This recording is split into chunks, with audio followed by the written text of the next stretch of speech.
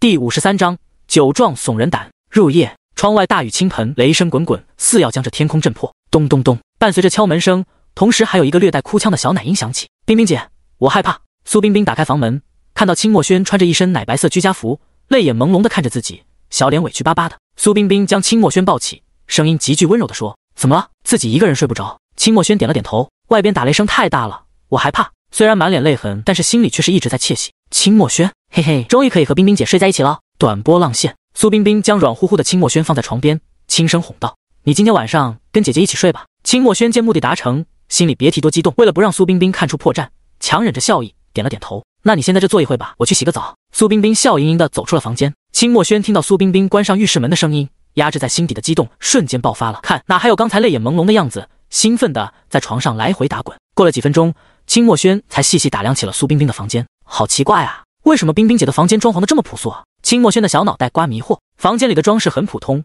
一张黄褐色木质床，一个深色大衣柜，以及一张桌子，除此之外没有什么东西了。啊，相较于清墨轩那整个为粉色装饰的闺房，苏冰冰的房间就好似那小说里面霸道总裁朴实无华的卧室。咔哒，没等清墨轩多想，苏冰冰打开房门走了进来。苏冰冰身上只有一件浴巾，包裹着那前凸后翘的身材，朦胧间可以看到身体的全貌。三千青丝斜卷着水汽，静静地卧在那光洁无瑕的背部。那洁白无瑕的脸蛋上有着几丝红润，挂着细小的水滴，如同稚嫩的皮肤，真的能掐出水来。清墨轩看着现在如出水芙蓉般的苏冰冰，不禁咽了咽口水，白净的脸蛋也以肉眼可见的速度开始变红。刚出浴室，苏冰冰就对上清墨轩的呆愣的眼神，怎么这么看着我？我脸上有东西？被发现的清墨轩脸色更加羞红，不断的揉着睡衣，想要缓解尴尬，心里正骂着自己呢。清墨轩呀，清墨轩，你怎么这么没用啊？内向什么啊？知道苏冰冰喜欢你，你还不敢去表白？你怎么这么怂啊？清墨轩感觉自己现在的自己如同被架在火上烤一般炽热，进退两难啊！苏冰冰看着奶娃娃羞红着脸，低着头，不知道在思考些什么。轩轩，你洗澡了吗？啊！苏冰冰突然间的发问打断了清墨轩的思考，下意识的说：“还没呢。”苏冰冰听到清墨轩的回答，嘴角勾起一抹不易察觉的微笑。那你先去洗澡吧。这也正合清墨轩的意思。现在的他只想用冷水让自己清醒一下，快步跑出房间，冲向了浴室。伴随着浴室门关闭的声音，清墨轩才长舒了一口气。你怎么这么没用啊？想的那些表白的话。怎么一句也说不出来啊？你没事脸红什么啊？不就是看看以后的老婆吗？清墨轩对着镜子里的自己嘲讽了一番，啧啧啧，真是个狠人。自己骂自己，系统不禁感叹道：“哎呀，这时候你就不要对我落井下石了，帮我想想办法。我想对冰冰姐表白。”清墨轩懊恼的挠了挠头，给你提个建议，酒壮怂人胆。可是我千杯不醉啊。咱回想一下，还记得上回是谁喝了不到一瓶啤酒就醉得不省人事了吗？系统嫌弃的说道。好像也是啊。清墨轩有些尴尬，忘记了上回抱着啤酒喝得五迷三道的样了。这时。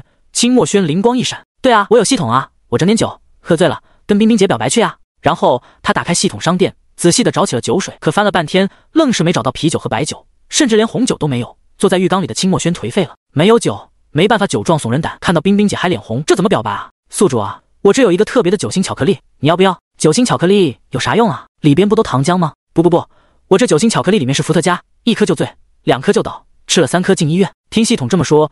清墨轩的眼神顿时间就亮了起来。你没骗我吧？身为强大的系统，怎么可能会去骗宿主呢？这个巧克力打折，现在只需要四百任务点就可以拿到了。你滚！老子好不容易攒的是六百任务点，你一下就想坑进去四百？反正表白的不是我，花不花是你的权利。况且你留二百任务点也能买不少吃的呢。系统一副无所谓的样子。经过长达十分钟的僵持，清墨轩咬了咬牙，嘴里缓缓吐出一个字：买。扣除宿主四百任务点，获得伏特加酒心巧克力一盒。第五十四章戒酒表白。洗完澡，穿上睡衣后，清墨轩看着出现在手里的褐色盒子，被那精美的字体吸引住了。伏特加酒心巧克力，用运金的手法描绘，采用小楷的字体，整个包装朴素带着奢华。系统，你说这酒心巧克力真的一颗就醉吗？清墨轩打开盒子后，拿出了一颗巧克力，看着和平时买的糖浆的酒心巧克力没啥区别，不禁疑惑的发问：什么话？不信任我？你要不信？你就塞嘴里一颗试试。听了系统的话，清墨轩将那一颗酒心巧克力塞进了嘴里。巧克力入口时，与平常的巧克力那甜味中略带苦涩的口感一致，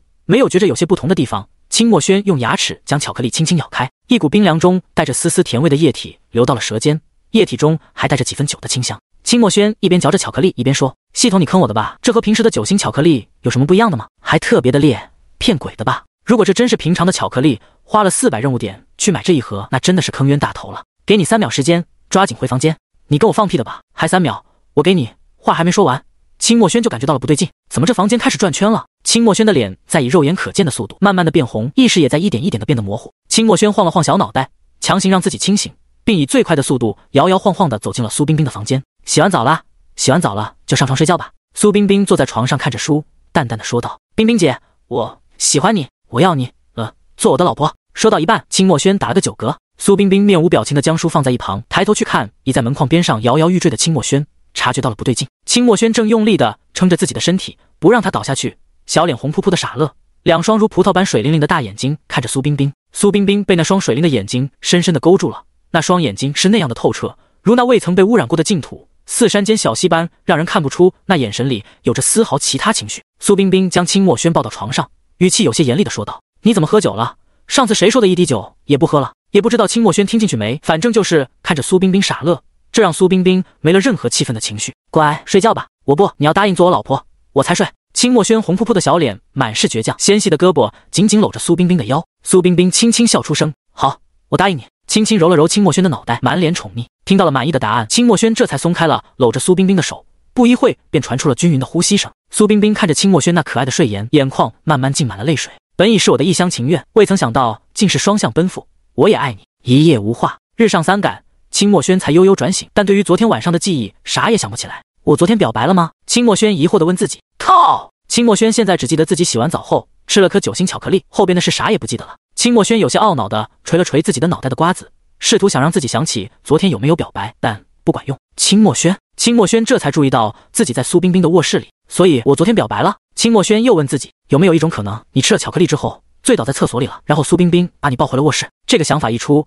让清墨轩再次陷入了困惑，五官都快皱成一团了。但很快他又振作了起来，捏紧自己的小拳头。我一定要和冰冰姐说，我也喜欢她。第五十五章确认关系。清墨轩给自己打气，一定要跟冰冰姐表达自己的心意。一边自我心里开导，一边往客厅走。走到客厅，清墨轩顿时傻眼：冰冰姐不是去上课了吗？怎么在客厅啊？苏冰冰穿着一身米色家居服，坐在客厅的沙发上，抬头之际，好看到从房间走出来的清墨轩。睡醒了。睡醒了就吃点东西吧。”苏冰冰微笑着说道。清墨轩脸色有些潮红，张了张嘴，啥也没说出来，就这么呆呆的站在原地，有些紧张的捏着自己的衣角。哼，刚才自我安慰屁用没有啊？宿主啊，你说句话，大声的说出来。系统看似为他着急，实则是想看戏。良久，清墨轩鼓起勇气，抬头与苏冰冰对视，喊出了心里话：“冰冰姐，我喜欢你，你当我女朋友吧。”最终，清墨轩鼓起勇气说出了这句话。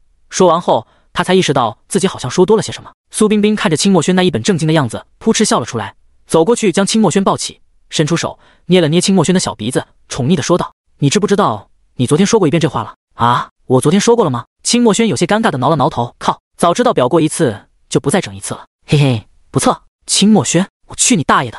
你是不是知道我已经说过一次了？哦哦，嗯，宿主，我没电了，有什么问题等我回来再问吧。xn 等于 xn 等于 xn 等于 xn 等于酷虚。你刚刚说让我做你女朋友？苏冰冰满脸笑意，在清墨轩看来的笑容好像有点恐怖呢，好像是狮子找寻到自己的猎物，开始猎杀时的眼神。冰冰姐，清墨轩想，但又不知道说些什么，因为他刚刚确实说了让苏冰冰当他女朋友。怎么想说什么？苏冰冰嘴角勾起一抹笑容，就这么看着背靠着墙面的清墨轩，看看这个娃娃能做出什么解释。清墨轩张了张嘴，也不知道说些什么，脸色潮红，抬头望着苏冰冰。如果你不想说什么的话，那以后你就是我女朋友了。苏冰冰俯下身来，就这么直视着清墨轩的眼睛，四目相对间，苏冰冰吻了上去，那娇艳的红唇吻在了那张粉嫩的樱桃小嘴上。这一刻，清墨轩的呼吸停滞了，身体完全动不了。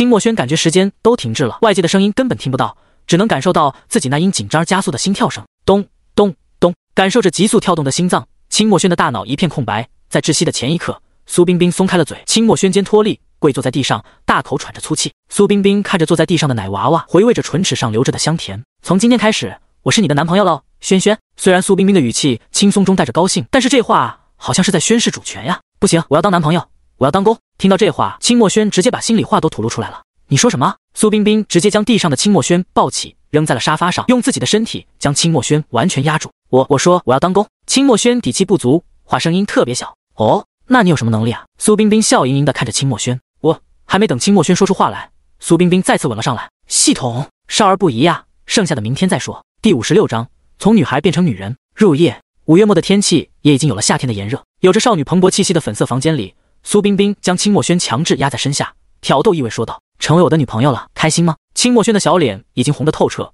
不敢与苏冰冰那双勾人心魂的美艳双眸对视，感觉自己现在如同一只待宰的羔羊。清墨轩想要挣脱出苏冰冰的身下，可是他越挣扎，苏冰冰束缚住他的力气越大，到最后。苏冰冰整个人将清墨轩完全压住，怎么姐姐的宠幸不好吗？还想要挣脱？苏冰冰的目光紧紧盯着清墨轩的潮红的小脸，嘴角那略带戏谑的笑容从未消失。冰冰姐，清墨轩话还没说完，便感觉到自己的樱桃小嘴上传来一股温热的触感，让他的大脑又一次放空。嗯，有些窒息的感觉，让清墨轩下意识的想要挣扎，可是那纤细的小胳膊被苏冰冰牢牢的控制住，完全挣扎不动。这一次，苏冰冰没有吻，便离开了带着浓厚奶香味的樱桃小嘴。哼，他要是再不松嘴，清墨轩就得晕过去。没错，这娃子接吻的时候不会呼吸。你接吻的时候都不知道呼吸的吗？苏冰冰看着被自己压在身下的清墨轩，语气中虽然有一些责怪，但嘴角的笑意却从未消失过。他实现了愿望，当然开心了。嘿嘿，哦，缓了好大会。清墨轩通红的小脸憋出了句：“我不知道，我又没有接过吻。那今天姐姐好好教教你。”说完，苏冰冰又再一次的吻上去了。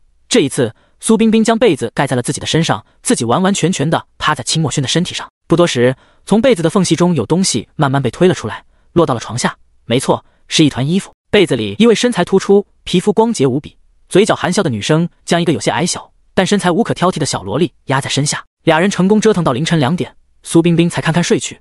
要不是清墨轩晕了，他还能再折腾一会。没错，就是清墨轩晕过去了。系统有没有人为我发声？我帮他找着对象，他让我看少儿不宜。呜，酷虚。上午十点，清墨轩醒来后，感觉浑身酸痛，腰疼的快要断掉了。他缓慢的从床上坐起，穿好衣服，准备吃点东西。可走到房间门口。他又鬼使神差的回头看了一眼，这一眼不要紧，那淡黄色的床单上有一片刺眼的嫣红，证明着清墨轩从女孩变成了女人。这是这一眼让清墨轩好不容易消下去的红色，一下就红到了顶峰，整个人都快要冒出水蒸气了。啧啧啧，还知道害羞啊？你知不知道昨天晚上我看了一晚上？哦，清墨轩，你能看到？我当然能看到了。说实话，苏冰冰挺猛的，都给你整晕过去了。啧啧啧，体力真好。清墨轩，哦哦，你井号井号看现场直播，井号井号井号井号的，你井号井号的，你真该死啊！哟哟哟！你急了，你急了，我就看看现场直播怎么了？拜托，是我帮你追到的苏冰冰，你不感谢我一下，还来骂我狗咬吕洞宾，不识好人心。清墨轩听到系统说这，本身就因为害羞产生的脸红，因为生气，甚至都蔓延到了脖子上，整个人如同烧开的水壶，似乎头顶上还有蔓延的水蒸气。苏冰冰本想叫清墨轩起来吃早餐的，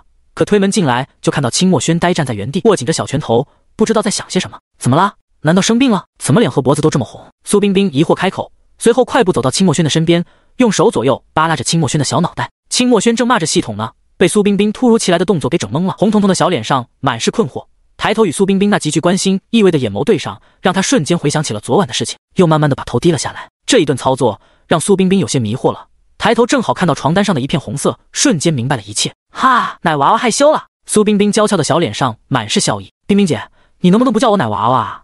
我不是小女孩了，我已经是一个女人了。清墨轩扭捏的说道。那叫你什么老婆吗？不叫我老公。那你又想试试昨天晚上的操作？苏冰冰一脸坏笑的将清墨轩抱起。错了错了，你想叫什么就叫什么，别叫奶娃娃就行。清墨轩一想到昨天晚上的操作，就止不住的浑身颤抖。清墨轩，哼，大丈夫能屈能伸，以后一定要让你见识见识我的厉害。系统，给我来点厉害的武功秘籍，我一定要让这小妮子见识见识我的厉害。远方传来风笛，神秘数字七二二六七六零八一，第五十七章。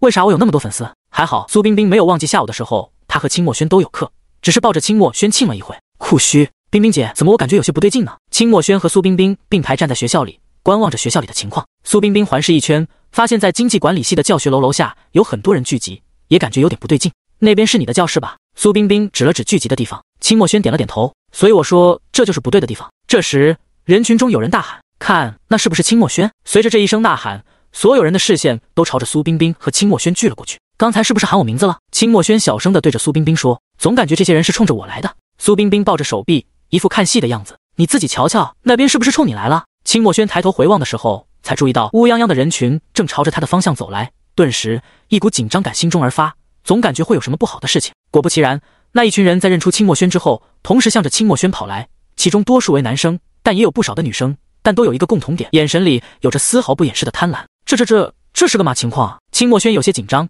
说话都开始颤抖了，只能紧紧的攥住苏冰冰的衣角。苏冰冰一脸轻松，别紧张。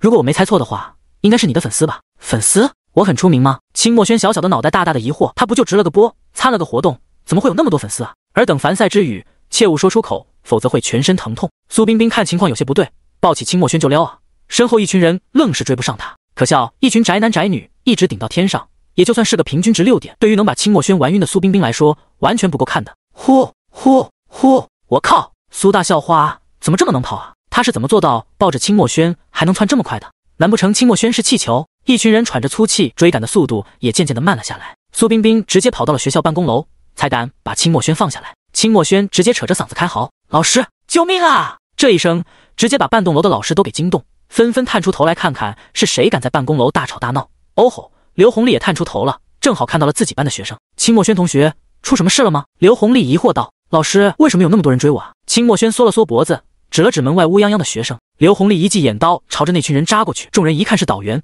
该干嘛干嘛去了。干哈？惹导员？不想被针对的话就去惹吧。刘红丽摸了摸下巴，一脸若有所思的说道：“可能是清墨轩同学太火了，所以刚才的人应该是粉丝吧。”苏冰冰赞同的点了点头，然后又摸了摸清墨轩的头。不愧是你啊，当了个主播的热度就和二线明星差不多了。清墨轩有些懊恼的挠了挠头，嘟着小嘴。早知道有这么多麻烦事，就不去参加那什么活动了。只想当咸鱼的清墨轩，压根就不想火起来。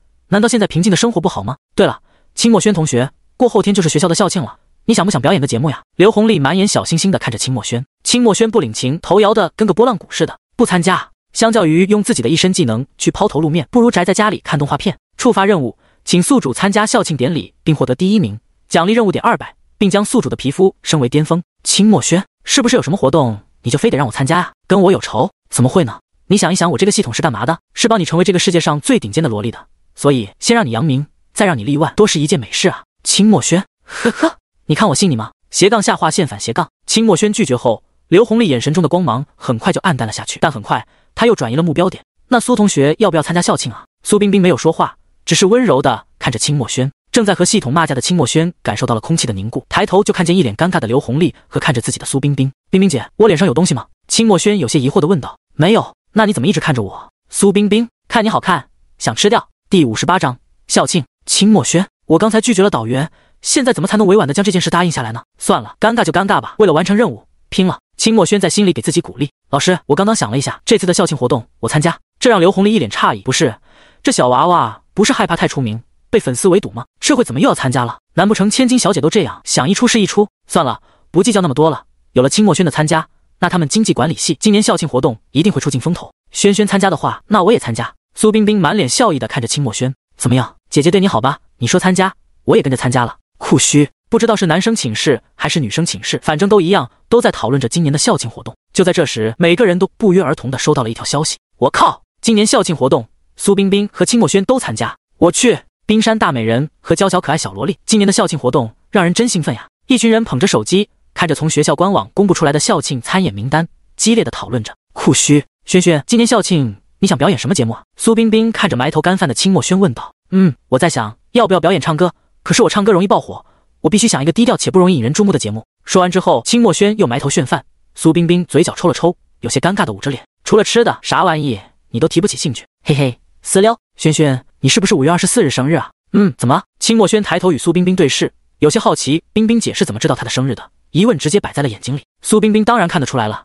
轻笑了一下。昨天在你房间看到你身份证上写的，好像你今年没有过生日。五月二十四日那天。不正是去参加公益活动的那天吗？清墨轩都把自己生日给忘了，那不是太忙了吗？算了，不过了，等明年再说吧。清墨轩一副事不关己的样子，好像说了别人似的。苏冰冰有些着急，拍桌起：“那怎么行？生日怎么能说不过就不过呢？不行，今天晚上补回来。”酷虚，祝你生日快乐！许愿吧。苏冰冰捧着一个精美且不失奢华的蛋糕，站在清墨轩的面前，头上戴着生日帽的清墨轩闭着眼睛，双手交叉握住，正对着蛋糕许愿：“希望我和冰冰姐能长长久久，而且我要攻。”许完愿后，清墨轩问道。冰冰姐，你为什么一定要让我补过一次生日啊？他问出了刚才的疑问。我是你老公，我怕我记不住你生日，所以让你补过一次，加深印象。苏冰冰一边胡扯，一边动手切蛋糕。其实苏冰冰只是为了今晚上床找的借口而已，借着生日名义，美其名曰让清墨轩度过一个难忘的生日。哦，清墨轩若有所思的哦了一声，然后一盘奶油精准的落在了他的脸上，那呼奶油速度快的，甚至都没反应过来。冰冰姐，你干嘛呀？哼！反应过来的清墨轩有些小生气，但也不可能真的生气了，只不过是为了胡苏冰冰一脸奶油的障眼法而已了。刚才还在大乐着。清墨轩从奶娃娃变成了奶油娃娃的苏冰冰，看到他生气，瞬间停止了笑容，慢慢的将奶油从清墨轩的脸上擦掉。不就是糊点奶油吗？怎么还生气了？哼，看招！清墨轩伸出小手，瞬间，好家伙，身体被苏冰冰双腿夹住，伸手够不着桌子上的蛋糕。哟，还想反击呢？苏冰冰的嘴角略微奸诈的笑容，清墨轩没看着，因为他还盯着桌子上的蛋糕，想拿过来呼苏冰冰一脸。嗯，苏冰冰强制把清墨轩的小脑袋掰了过来，直接亲了上去。引得清墨轩一阵娇喝，苏冰冰那动人的红唇就这么吸在一张樱桃小嘴上，亲着亲着，苏冰冰觉得不是很过瘾，将清墨轩打横抱起，直接走向卧室，嘴里念叨着：“今天是给你补的生日，我一定要让你过一个难忘的生日。”苏冰冰，嘿嘿，小宝贝，今天晚上姐姐让你见识一下我的厉害。系统，完了，我又要看一晚上了。啧啧啧，第五十九章，不写标题了。有粉色佩奇、粉色墙纸、粉色电脑、粉色柜子以及拍大星装饰的少女闺房内，被苏冰冰压在身下的清墨轩感受着洗面奶的窒息攻击。强撑着最后一口气，冰冰姐，我还没洗澡呢，身上有味，有什么味啊？为什么我只闻到一股奶味？苏冰冰的嘴角有着一丝贪婪的笑容，但还抱着清墨轩走进了浴室。冰冰姐，你要跟我一起吗？清墨轩有些害羞地说。嗯。苏冰冰应了一声，继续着手上脱衣服的动作。随着那白色的衬衫从香肩上滑落，清墨轩顿感鼻血想要飙出，但还是忍住了，只不过有泪水从嘴角滑落而已。我靠，冰冰姐的身材也太好了吧！清墨轩低头看了看自己的，如果说苏冰冰的是正常，那她的……靠！飞机场，苏冰冰一边给清墨轩搓着背，一边感叹道：“轩轩，你的皮肤也太好了吧？你用的什么牌子的护肤品啊？”清墨轩也不知道该说点啥，没用过护肤品，天生的。随后露出了得意的笑容。对了，冰冰姐，为什么你的比我大那么多啊？清墨轩指了指自己，又指了指苏冰冰，却被苏冰冰宠溺的摸了摸头。你还小，以后肯定会发育的。可是冰冰姐不就比我大一岁吗？清墨轩委屈的说道。你不知道女大十八变吗？差一年，可能就是天差地别的区别了。苏冰冰解释道。其实我挺羡慕你的皮肤的。我这叫天生丽质，清墨轩得意洋洋的说道。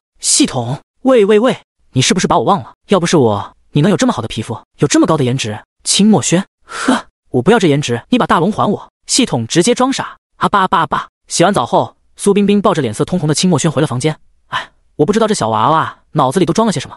现在都是情侣了，洗个澡怎么还能害羞啊？酷虚，冰冰姐，今天晚上别玩这么晚了，我明天有早八的课。清墨轩用着几近哀求的语气道。苏冰冰轻笑一声。好，我知道了。然后将床尾的被子直接盖在了身上，将清墨轩牢牢控制住。昨天姐姐教你之后，有没有学会啊？啊，学会。清墨轩话还没说完，苏冰冰便吻了上来。系统，完了，又要被塞一嘴，我还是去死吧。但是在我死之前，一定要看完。哦啊！清墨轩忍不住惊呼出声，他清楚着感受着那来自胸前温润的触感，以及被触及到的地方。怎么了？苏冰冰询问道。没，没事。清墨轩脸色羞红，虽然这是第二次了，但还是忍不住会害羞的呀。嘿嘿，这一次清墨轩没有晕倒，只是太累了，睡着了而已。而昨天晕倒是因为苏冰冰太能折腾了，搞得清墨轩一点体力都没有了，最后因为低血糖晕过去了。要不然苏冰冰还能再整一会。第六十章，王贵李青山。清墨轩和苏冰冰在被窝里折腾到十一点多才堪堪睡去。第二天一早，清墨轩被闹钟吵醒，唉，来自早八的烦恼啊！冰冰姐也太猛了吧，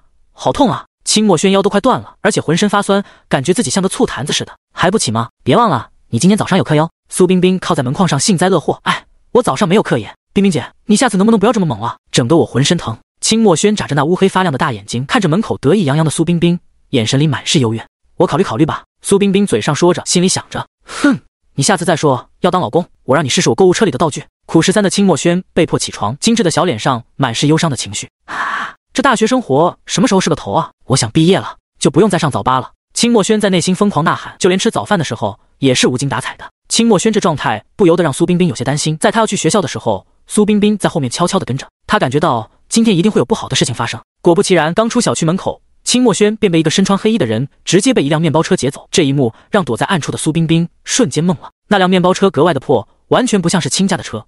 突然，一个不好的念头在苏冰冰的脑海里炸开：我的抱枕被绑架了。反观刚刚被劫走时的清墨轩，正一脸无精打采地耷拉着脑袋往前走着。突然，面前就停了一辆面包车。然后车上下来一个穿黑衣的人，直接用一块布捂上了他的嘴。不好，我应该是被绑架了。这回清墨轩的小脑袋转得还挺快。没错，他以前经历过这事，还没等他做出任何反应，就感觉到一阵头晕目眩。妈的，布上有药！反观另一边的苏冰冰，掏出手机拨打了个电话，强压心中的怒火，咬着牙说：“调取卫星定位，以最快的速度查清楚这个电话的位置。”随后挂断电话，将清墨轩的电话号码发了过去。我看看是哪个想死的动我的抱枕。苏冰冰咬着牙，紧紧攥着手机。直到手机屏幕被捏出裂痕，然后将手机直接砸在了地上。手机，你清高，你了不起，你抱着被抓了，你砸我，酷虚！李哥，我把清墨轩抓来了，你能不能放过我？王贵堆满笑容，弯着身子，一脸谄媚的看着一旁的李青山。李青山，李氏集团总裁，李诗雨的父亲，也就是被亲家所制裁的那个李氏集团。嗯，李青山只是淡淡的嗯了一声，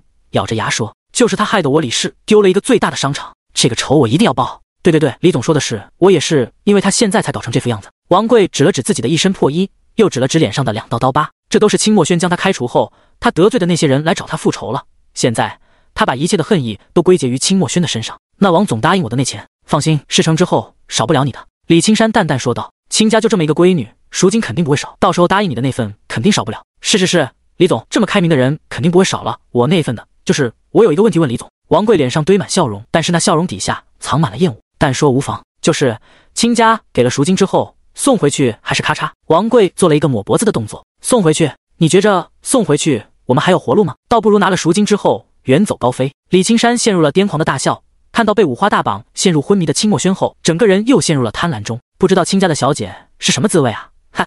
李青山整个人似乎都开始疯魔了。拍两张照片，亲家的人发过去，让他们看看自己家的闺女被人侮辱会是什么表情。哈！第六十一章，集团内所有保镖跟我走。李青山拍了两张图片给清墨尘发了过去。李青山，金总，你看看你的宝贝妹妹这个样子怎么样啊？哈哈！另一边的清墨尘早上起来就感觉心里怪怪的，总感觉会有什么事会发生。这时，手机提示音响起，他拿起手机一看，是李青山发的消息，心里正疑惑呢。可下一秒，他看到图片的那一刻，额头青筋凸起，整张脸黑得吓人。图片是清墨轩浑身脏兮兮，双手双脚被捆住，背倚在墙面，毫无生机，不知是死是活。这时，李青山的电话打了进来，清墨尘直接按了接听。喂，青总啊，我发的东西你看到了吗？哈哈，李青山那得意的语气让清墨尘真想直接弄死他，但还是沉下气来，用接近于冰点的声音说：“说吧，你们要多少？”清墨尘心里也明白，当务之急是稳定住李青山的情绪，不能激怒他。哈哈，还是清总懂我呀，不多，五十亿，我保证令千金能安全回去。李青山敢这么狮子大开口，是他知道亲家有多富裕，区区五十亿对亲家来说相当于零花钱。好，你发个位置，半小时，我把赎金送过去。好好，那我等着。半小时后，我要是见不到赎金，那令千金的生命我就不保证了。哈哈哈。说完，李青山就挂断了电话。清墨尘听着电话里传来嘟嘟的声音，浑身散发着恐怖的寒意，房间似乎也冷了几度。喂。老二，阿轩被人绑架了，你去银行取五十亿，跟我去玉清市。什么？阿轩被绑架了？妈的，哪个想死的干的？等着我踏马拧死他！清墨云咆哮出声，浑身因愤怒止不住的颤抖。挂断电话后，清墨尘和清墨云各自所在的晨星集团和飞云集团同时响起两兄弟那恐怖的吓人的声音。集团内所有保镖跟我走！众保镖也是被两位总裁那阴冷的声音吓得浑身一哆嗦。随后出现了一个奇观：上百辆汽车整齐排列，井然有序地行驶在公路上，引得旁人驻足观看。不少人拿出手机拍下了这一壮观的场景，而这上百辆车只有一个目的地——玉清市。库虚，怎么样？查到了吗？苏冰冰在一辆加长林肯里一边快速敲击键盘，焦急地询问着一旁同样在敲击电脑的苏雨姐：“你先别急，对面的信号太弱了，定位也是忽闪忽动的，想定位不容易。”苏雨脸上时不时的有冷汗滴落，手指在键盘上飞速的敲击着，心里却在想着：究竟是谁啊，让我姐能这么在意？苏冰冰脸色阴沉的吓人，冷冷的说道：“我负责强化信号，你负责定位。”随后。手上敲击键盘的动作更快了。好，苏雨咽了咽口水，回应了一声，心里正害怕。我靠，哪个不长眼的敢惹我姐？我为他默哀一会吧。这时，苏雨惊呼出声，查到了。苏冰冰急忙去看电脑上的定位，清墨轩的手机定位在玉清市后山的一个废弃厂房。开车去这个地方。苏冰冰脸色黑得吓人，额头上浮现着若隐若现的青筋，让苏雨想询问姐姐究竟是什么人的念头直接咽肚里了。另一边厂房内，宿主啊，你快醒醒！你再不醒醒的话，你就要嘎了。系统非常的着急。一直在脑海里喊着清墨轩，要是他有实体的话，必然会抽他俩大耳瓜子，给他抽醒。清墨轩也在系统坚持不懈的呐喊声中，渐渐的恢复了意识。但眼前的一幕让他有些懵，一群纹龙画虎的大汉在不远处的小桌子上打着牌。这一幕让清墨轩心中有些惶恐，想动弹一下，发现自己的双手被捆绑在身后，双脚也被束缚住，丝毫不能动弹。清墨轩，系统，我现在在哪？什么情况？还有我的小祖宗啊！你可算是醒了，你要再不醒，你就得被人嘎了。系统差点没哭出来。清墨轩。所以现在我被绑架了，靠！何况这你才反应过来，系统不禁扶额，这宿主还能要吗？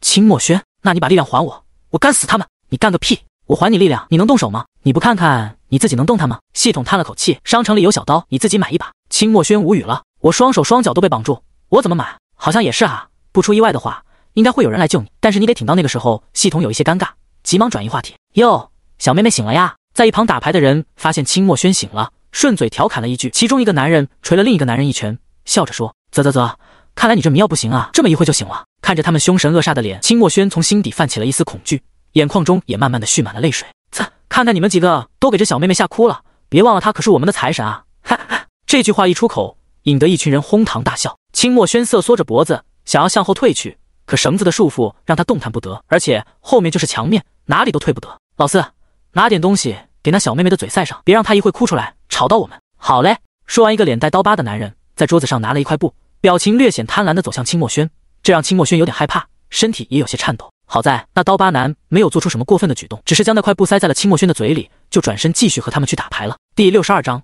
苏冰冰救场。清墨轩在脑海里疯狂想着自救的方法，看看能不能将绳子弄断。可是挣扎了将近十分钟，手腕都磨出血了，绳子也没有丝毫被挣脱的迹象。清墨轩，难道我就要命丧于此了吗？不，我还年轻，我才十八呀！你别急，我再想想办法。系统发挥着自己最强的大脑，想要找寻到一些自救的机会。突然灵光乍现，有了！宿主，我记得你惯把手机放在右边的口袋吧？你试试稍微的动一下身子，将手机从口袋里弄出来。清墨轩听了系统的话，小心翼翼的挪动着身子，可还是不小心扯到了手腕上的伤口，疼的清墨轩是眉头紧皱。可现在顾不了那么多了，自救要紧呀！在清墨轩不懈的努力下，手机从口袋里滑落下来，心里感叹着：还好今天穿的是裙子，要不然还真难把手机弄出来。清墨轩用身体小心翼翼的将手机送到了手能够到的地方，成功了。好，那你现在尝试一下，能不能给你哥哥们打电话？清墨轩听了系统的话，用手摸索找到了手机的电源键，他记得。按动五下电源键会有 SOS 紧急联系人，而他的联系人是清墨尘，只要按动就能拨打大哥的电话。你在干什么？一声冰冷的声音打断了清墨轩的动作，吓得他浑身一颤，抬起头与那张不人不鬼的脸对视上。男人正是王贵。王贵看着清墨轩，心里恨意滔天。清家的千金很好啊，如果让清家看着自己家唯一的闺女死，会是什么样子？哈哈哈！王贵整个人几乎陷入了癫狂，那张不人不鬼的脸上露出了骇人的笑容，让清墨轩的心里不由得颤动了一下。可是。他现在嘴里被塞着布，连话都说不出来，眼眶里的泪水证明着清墨轩的害怕。清墨轩一咬牙，将眼里的泪水硬生生的憋了回去，愤怒的瞪着王贵：“哟哟哟，别这么看着我，我好害怕呀！”哈哈哈哈！你也不看看现在是什么情况，你还敢这么猖狂？王贵整个人如同疯子一样，刚才还是癫狂的笑，下一秒整个人阴冷了下来。王贵看着清墨轩害怕的神情，得意的笑了笑，又吩咐一边打牌的人把他吊起来。十五分钟以后，亲家再不来人，直接把脖子抹了。难道我真的要死了吗？清墨轩心里想着，意识也开始慢慢的模糊了，感觉整个脑袋如同被人灌了铅一般，呼吸都开始不顺畅了。王哥，我看那个时间差不多了，亲家还没来人呢，要不直接做了吧？一个肩膀上纹着青龙的人冲着王贵说道：“你景浩，景浩是不是傻？好歹把钱拿到再杀了呀！现在杀了你一分钱也拿不到。”王贵有些恨铁不成钢的敲了敲那人的脑袋，话还没说完，便被电话铃声打断了。行了，你们看好，我去接个电话。说完，王贵便朝着厂房门口走去，接起电话，边走边说：“喂，李总。”你那边准备好了吗？时间快到了，拿了钱直接跑吧。嗯，李青山嗯了一声，记住，拿到钱之后直接做掉。这个我明白。李总话还没说完，王贵便被倒塌的厂房大门压倒。门口站着一位扎着高马尾、身穿淡蓝色运动服、身材妖娆的女生。苏冰冰眼神冰冷的看向厂房内，就看到一群满脸惊愕的壮汉和那被倒悬在房梁上的清墨轩，浑身散发着浓浓的杀意。清墨轩看到有人来了，但长时间的倒吊使他的脑袋充血严重，眼睛都模糊不清。妈的，有人来了！你们他妈上啊！双腿被厂房大门压住的王贵，冲着那群站在原地发呆的壮汉怒吼道：“那一群人才反应过来，十几个大汉纷纷抄起了身边的武器，西瓜刀、钢管应有尽有。”苏冰冰只是冷漠地注视这一切，让他们拿着武器又何妨？动了我的暴政都得死！心里想着，苏冰冰的脸色越来越阴沉，看着那十几个大汉朝着自己逼近，心底冷笑，只是淡淡的扫了一眼，那十几个大汉便被这冰冷的眼神震慑住了，那眼神仿佛是死神在收割着残余的亡魂。还有什么遗言吗？等一会可就说不出来了。苏冰冰嘴角勾起邪魅的笑容，眼神中的杀意丝毫不掩饰。妈的，你个臭婊子，别在这逞能！你们他妈傻愣着干嘛？快上啊！王贵在苏冰冰的身后还在嚎叫，这一声直接让苏冰冰脸上的笑容瞬间消失，转身一脚直接踹到了王贵的头上。扩造！苏冰冰掏了掏耳朵，再看王贵呢，被踢中头部后直接躺倒在地，嘴里吐出血沫，再也没有了生机。其他人见到这一幕，瞬间傻眼了。他们不敢相信面前这瘦弱的女生怎么能有这么大的爆发力。兄弟们都上，我他妈就不信她能揍过我们这么多人。还有人想借着人多，以为能打得过苏冰冰姐，你快点，清墨轩要不行了。苏雨大叫了一声。苏雨趁着所有的目光都被苏冰冰吸引，已经偷偷的将清墨轩从房梁上解了下来。但看到清墨轩有些神志不清的状态，忍不住让苏冰冰快点解决。第六十三章，身手不凡。苏冰冰活动了一下手腕，伴随着骨头咯咯响，预示着这群人生命进入了倒计时。苏冰冰直接抓住左边一人的钢管。一脚将那人踹飞出去，随后拿着钢管抽向右侧一人的脑袋，用钢管挡住正面劈来的西瓜刀，反手将那人踹翻在地，随后捡起地上一把西瓜刀，左右开弓。铁器的碰撞以及哀嚎声在厂房内此起彼伏，随着铁器落地的声音，战斗的结束了。苏冰冰浑身浴血，站在一群人的中间，宛如杀神降临。这个样子的苏冰冰引得苏雨心中震惊。她虽然知道自己的姐姐习武多年，身手不凡，但今天这种状态还是他第一次见。苏雨看了看躺在怀里的清墨轩，心里感叹着：“同学啊。”你和我姐姐啥关系啊？怎么能让我姐这么疯狂啊？解决完战斗的苏冰冰也没有耽搁，快步走到了苏雨和清墨轩的面前，认真查看起了伤势。离得近了，清墨轩终于看清了苏冰冰那姣好的容颜，用尽最后一丝力气：“冰冰姐，你来了。”说完，清墨轩便晕了过去。苏冰冰顿时开始着急，抱着清墨轩就往外跑：“轩轩，你一定不能出事，你一定不会有事的。谁他妈动老子妹妹？滚出来！”还没跑出厂房的苏冰冰便听到了外面的暴喝，不由得眉头一紧。一旁的苏雨问道：“怎么又来人了？没完没了了？应该是轩轩的哥哥，你先留在这和他们解释一下，我先带轩轩去医院。”说完便抱着清墨轩快步跑了出去，开着车一骑绝尘。清墨尘看着快步跑出去的苏冰冰，心里不由得一沉。老二，你先带人进去看看，我去追那个人。嗯，大哥，你去吧。清墨云应了一声，随后对着那一群黑衣保镖喊道：“看好，不要漏掉每一个人。”说着，便带着一群黑衣保镖乌泱乌泱的朝着厂房内走去。可走到门口，清墨云傻眼了：“我靠，什么情况？这小子杀了那么多人！”因为厂房大门被苏冰冰踹开的原因，所以苏雨站在血泊旁的场景震撼到了在场的人。苏雨看着众人惊骇的目光，急忙解释：“这不是我干的啊，这是我姐为了救清墨轩干的。”酷虚。医院病房内，清墨轩安静地躺在床上，脸上一点血色都没有。一旁的医生正在为他检查。过了几分钟，医生长舒了一口气，对着苏冰冰说道：“病人只是脑部充血导致的昏迷，还有一点轻微的脑膜炎，没什么大碍。在这里解释一下，长时间的倒吊会导致脑部充血严重，是引起脑膜炎的重要原因。”这一句话让苏冰冰悬着的心落了下来。等到医生出了病房，苏冰冰走到清墨轩的床边，慢慢的蹲下，用清墨轩的小手贴在自己的脸上：“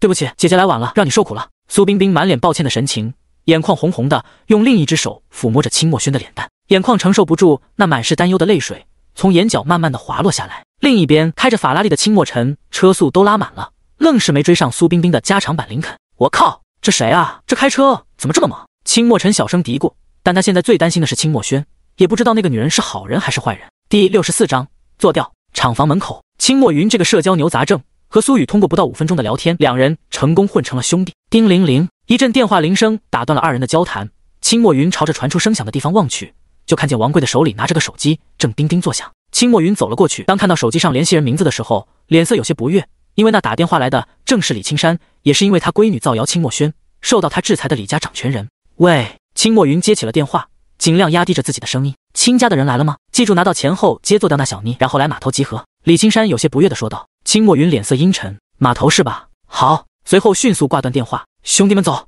去码头。另一边的医院病房内，苏冰冰那身淡蓝色的洞服上斑驳着血迹，那黏糊糊的触感，她丝毫不在意。她看着清墨轩毫无血色的小脸，心底满是愧疚。对不起，轩轩，姐姐来的太晚了，让你受苦了。苏冰冰眼中噙着泪，就这么看着清墨轩。这时，病房门被推开，苏冰冰回头看去，清墨尘在看到苏冰冰的一瞬间，脸上闪过一丝惊诧。苏冰冰。苏冰冰没有说话，眼神又回到了病床上的清墨轩身上。轩轩怎么样了？清墨尘虽然语气平静，但心底藏不住那担忧的心情。没什么事，有点脑膜炎。听到苏冰冰这么说，清墨尘悬着的心终于落地了。房间里陷入了死一般的寂静。你要不去整理一下自己吧？清墨尘开口打破了沉寂，指了指苏冰冰身上的衣服。嗯，苏冰冰也才刚刚注意到自己浑身血迹，那冰冷的性格又再一次展现了出来，好像那温柔只对清墨轩自己开放。现在这副样子可不能轩轩看到，要不然以他那胆小的性格。肯定会害怕，苏冰冰心里想着，但还是不舍离开。清墨尘看出了苏冰冰的担忧，你放心，我肯定会照顾好我妹妹的。听了这话，良久后，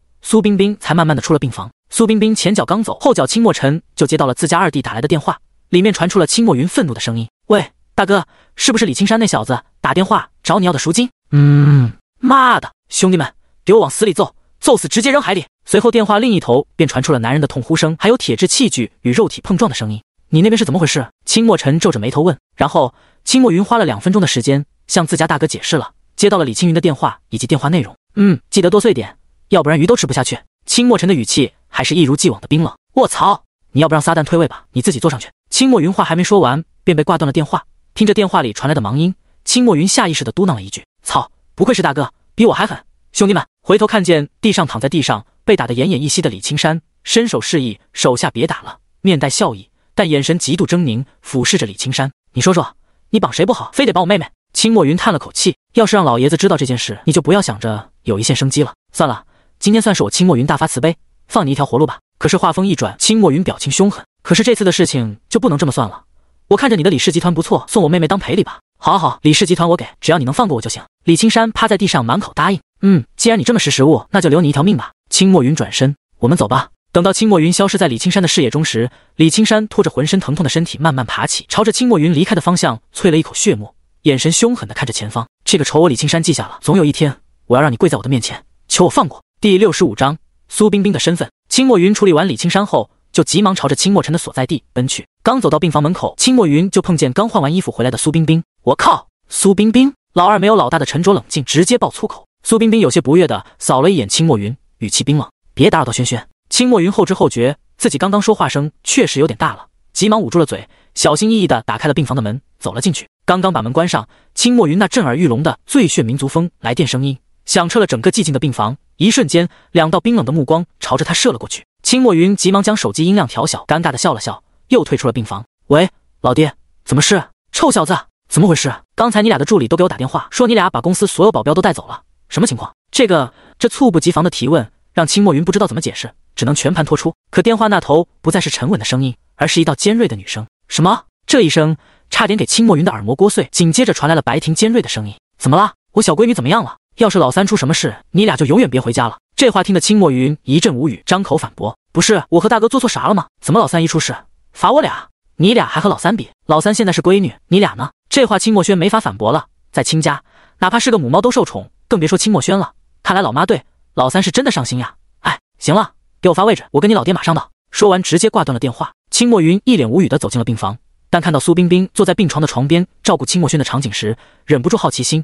轻声问了一句：“苏冰冰，你跟我家轩啥关系？”苏冰冰，她是我女朋友，她是我小抱枕，这说出来合适吗？思考了一会，苏冰冰着重开口：“她是我的闺蜜。”卧槽！青墨云下意识脱口，结果又遭到了两双刀子眼。青墨云没有理会，继续说：“不是都说你是未来苏氏的继承人，为人冰冷，从不交朋友吗？”唉，苏冰冰叹了口气，职场哪个不是勾心斗角，哪有什么真心朋友？这是她的心里话。在她遇见青墨轩之前，她本想着这一辈子就这么无朋无友的过去了。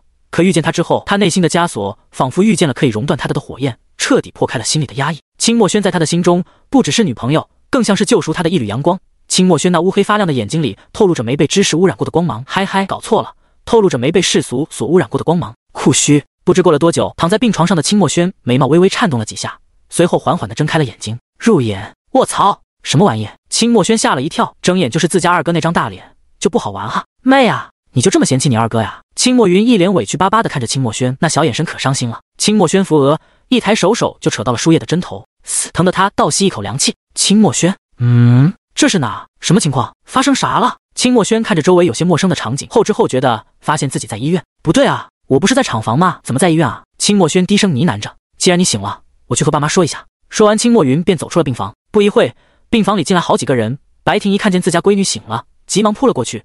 扳着清墨轩的小脸左看看右看看，最后看着没啥异常，才松开手。妈，我没事。清墨轩一脸无语，看着自家老妈担忧的神色。二哥被绑架的时候，也没见你这么着急啊。你管他干哈？她是闺女吗？她不是，只有你是我们清家的宝贝闺女。白婷边说着，白了自家俩小子一眼。不是我。清墨云刚想反驳两句，直接被老爷子瞪了一眼，讪讪的闭了嘴。轩轩，我给你做了。满脸笑容的苏冰冰手里提着鸡汤，推开门之后就感觉这氛围怎么有点不太对劲呢？苏冰冰，白婷摸着自家闺女的头。看到进门的人有些眼熟，试探性的问道：“秦夫人，我是苏冰冰。”苏冰冰露出一个得体的微笑，礼貌的回应的。白婷一脸诧异的看向清墨轩：“你别跟我说你嘴里的那个苏冰冰是她妈，当着这么多人的面，别说出来啊！”清墨轩有些不好意思，刚才还有些惨白的小脸上蒙上了一层薄薄的红色。你知不知道她是谁啊？白婷的声音突然提了上来，吓了清墨轩一跳，眼神困惑的摇了摇头。她是苏烈的闺女，苏氏集团唯一的继承人。清墨轩，卧槽！我老婆是苏氏集团总裁苏烈的闺女，苏冰冰。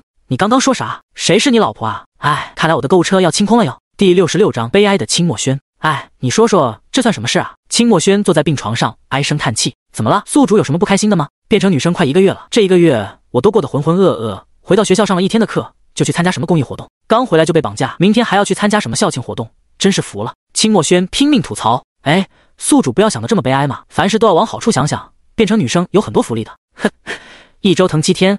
还是我这贫血加低血糖的身体？你不是找了个男朋友吗？哦，不对，不应该说是男朋友，应该说算了，找了个对象。清墨轩一想，好像系统说的也没什么错，但是总感觉哪里怪怪的。酷虚。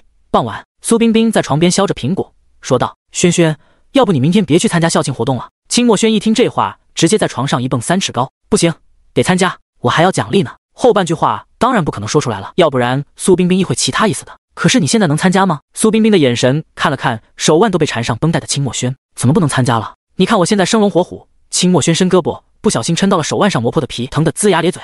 行吧，让你参加，但是你要是出一点差错，我饶不了你。嘿嘿，还是冰冰姐最好。清墨轩抱着苏冰冰的胳膊撒娇。对了，话说你真的是苏家大小姐？清墨轩问出了心底的困惑，也不能说是疑惑，只能说是求证。嗯，怎么了？苏冰冰面带笑意，语气很平静。靠，那你怎么从来没跟我说过？你也没问过？清墨轩，我没问吗？你确实没问过。系统适当的时候出来插嘴。阿轩，看看你二哥为你带来了什么好东西。清墨云拿这份文件夹，兴高采烈地冲进了病房。啥玩意能让你这么高兴啊？清墨轩有些鄙夷地看着自家那月的跟个傻子似的二哥。李氏集团所有的产业，其中包括几家酒店、一个大商场和一些小的门店。清墨云得意洋洋地展示着手里的文件夹，这些都是二哥给你整的。你是不是有病？清墨轩眼角抽搐。我 T M 是个大一的学生，我管得过来这么多产业吗？别说李氏这些，单算算我手下这些产业，大哥的分公司，你给我的轩阁和腾天阁，以及前一段时间老爷子给我画过来的仙居楼，你现在又给我整这一出，你是想活活累死我吗？清墨轩气的小脸通红。虽然自己是家里最没能耐的，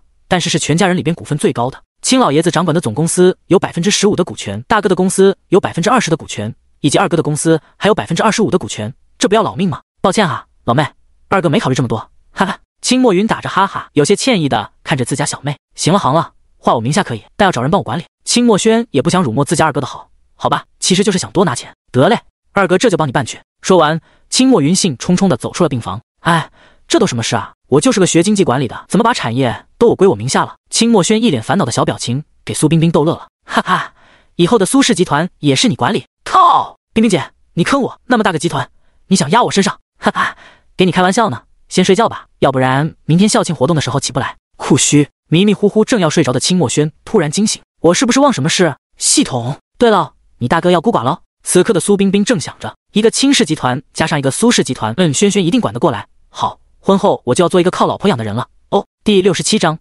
校庆活动。清老爷子本不愿让清墨轩出院参加校庆活动，但架不住他会撒娇啊。老爸就让我去嘛。清墨轩摇晃着清玉堂的胳膊，撒娇道：“哎，真拿你没办法，去吧去吧。”清老爷子无奈叹气道，眼底的开心却丝毫不掩饰。哦哟，冰冰姐，我们走。见老爷子松口，清墨轩急忙拉着苏冰冰上车，直接走，生怕老爷子反悔。大牢的后排座位，苏冰冰用纤细的手指轻轻揉顺着清墨轩的蓝色头发，头发都能扎辫子了，要不要姐姐帮你扎个辫子呀？嗯，清墨轩有些发懵，看了看自己有些长长的头发，这么短，扎得起来吗？苏冰冰思考了一下，扎个单马尾够呛，扎个双马尾的话，应该可以。不等清墨轩答应，苏冰冰从手腕上取下了两个小皮筋。直接开始上手，但扒拉开头发，苏冰冰惊呼一声：“你的头发本身就是蓝色的，我也不知道咋回事，从小就是蓝色头发。”清墨轩开启了瞎编时刻，好在苏冰冰没有多问，继续着手上扎辫子的动作。不一会，两个灵动的蓝色小马尾辫呈现在清墨轩的脑袋两侧。清墨轩晃了晃脑袋，那两根双马尾也随着摆动的动作而显得可爱非凡。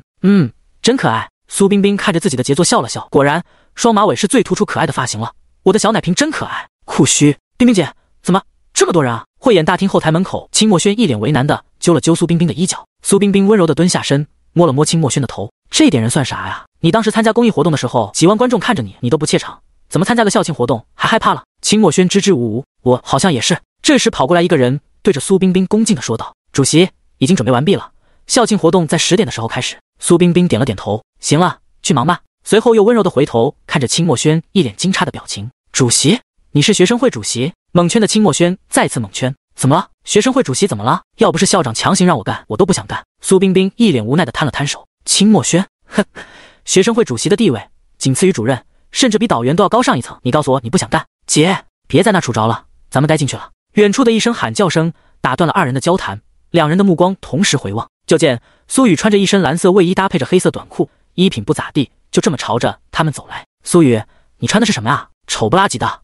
苏冰冰简直没眼看自家的傻弟弟。冰冰姐，你认识苏雨？清墨轩抬头看着苏冰冰，苏冰冰轻轻笑了笑，那是我的傻堂弟，也是你们系的文艺部部长。姐，我穿这一身不好看吗？苏雨那清澈的眸子里全是委屈的神色。苏冰冰一脸不耐烦的瞥了一眼苏雨，别逼我削你。这句话吓得苏雨浑身一颤。苏冰冰十二年的武术可不是白练的，就她那小胳膊小腿，一回合都撑不过。姐，我错了还不行吗？苏雨满脸委屈的表情，在看到清墨轩的时候，顿时消散的无影无踪，眼里闪烁着光的看着清墨轩。墨轩，我这么叫你可以吧？清墨轩点了点头，可以。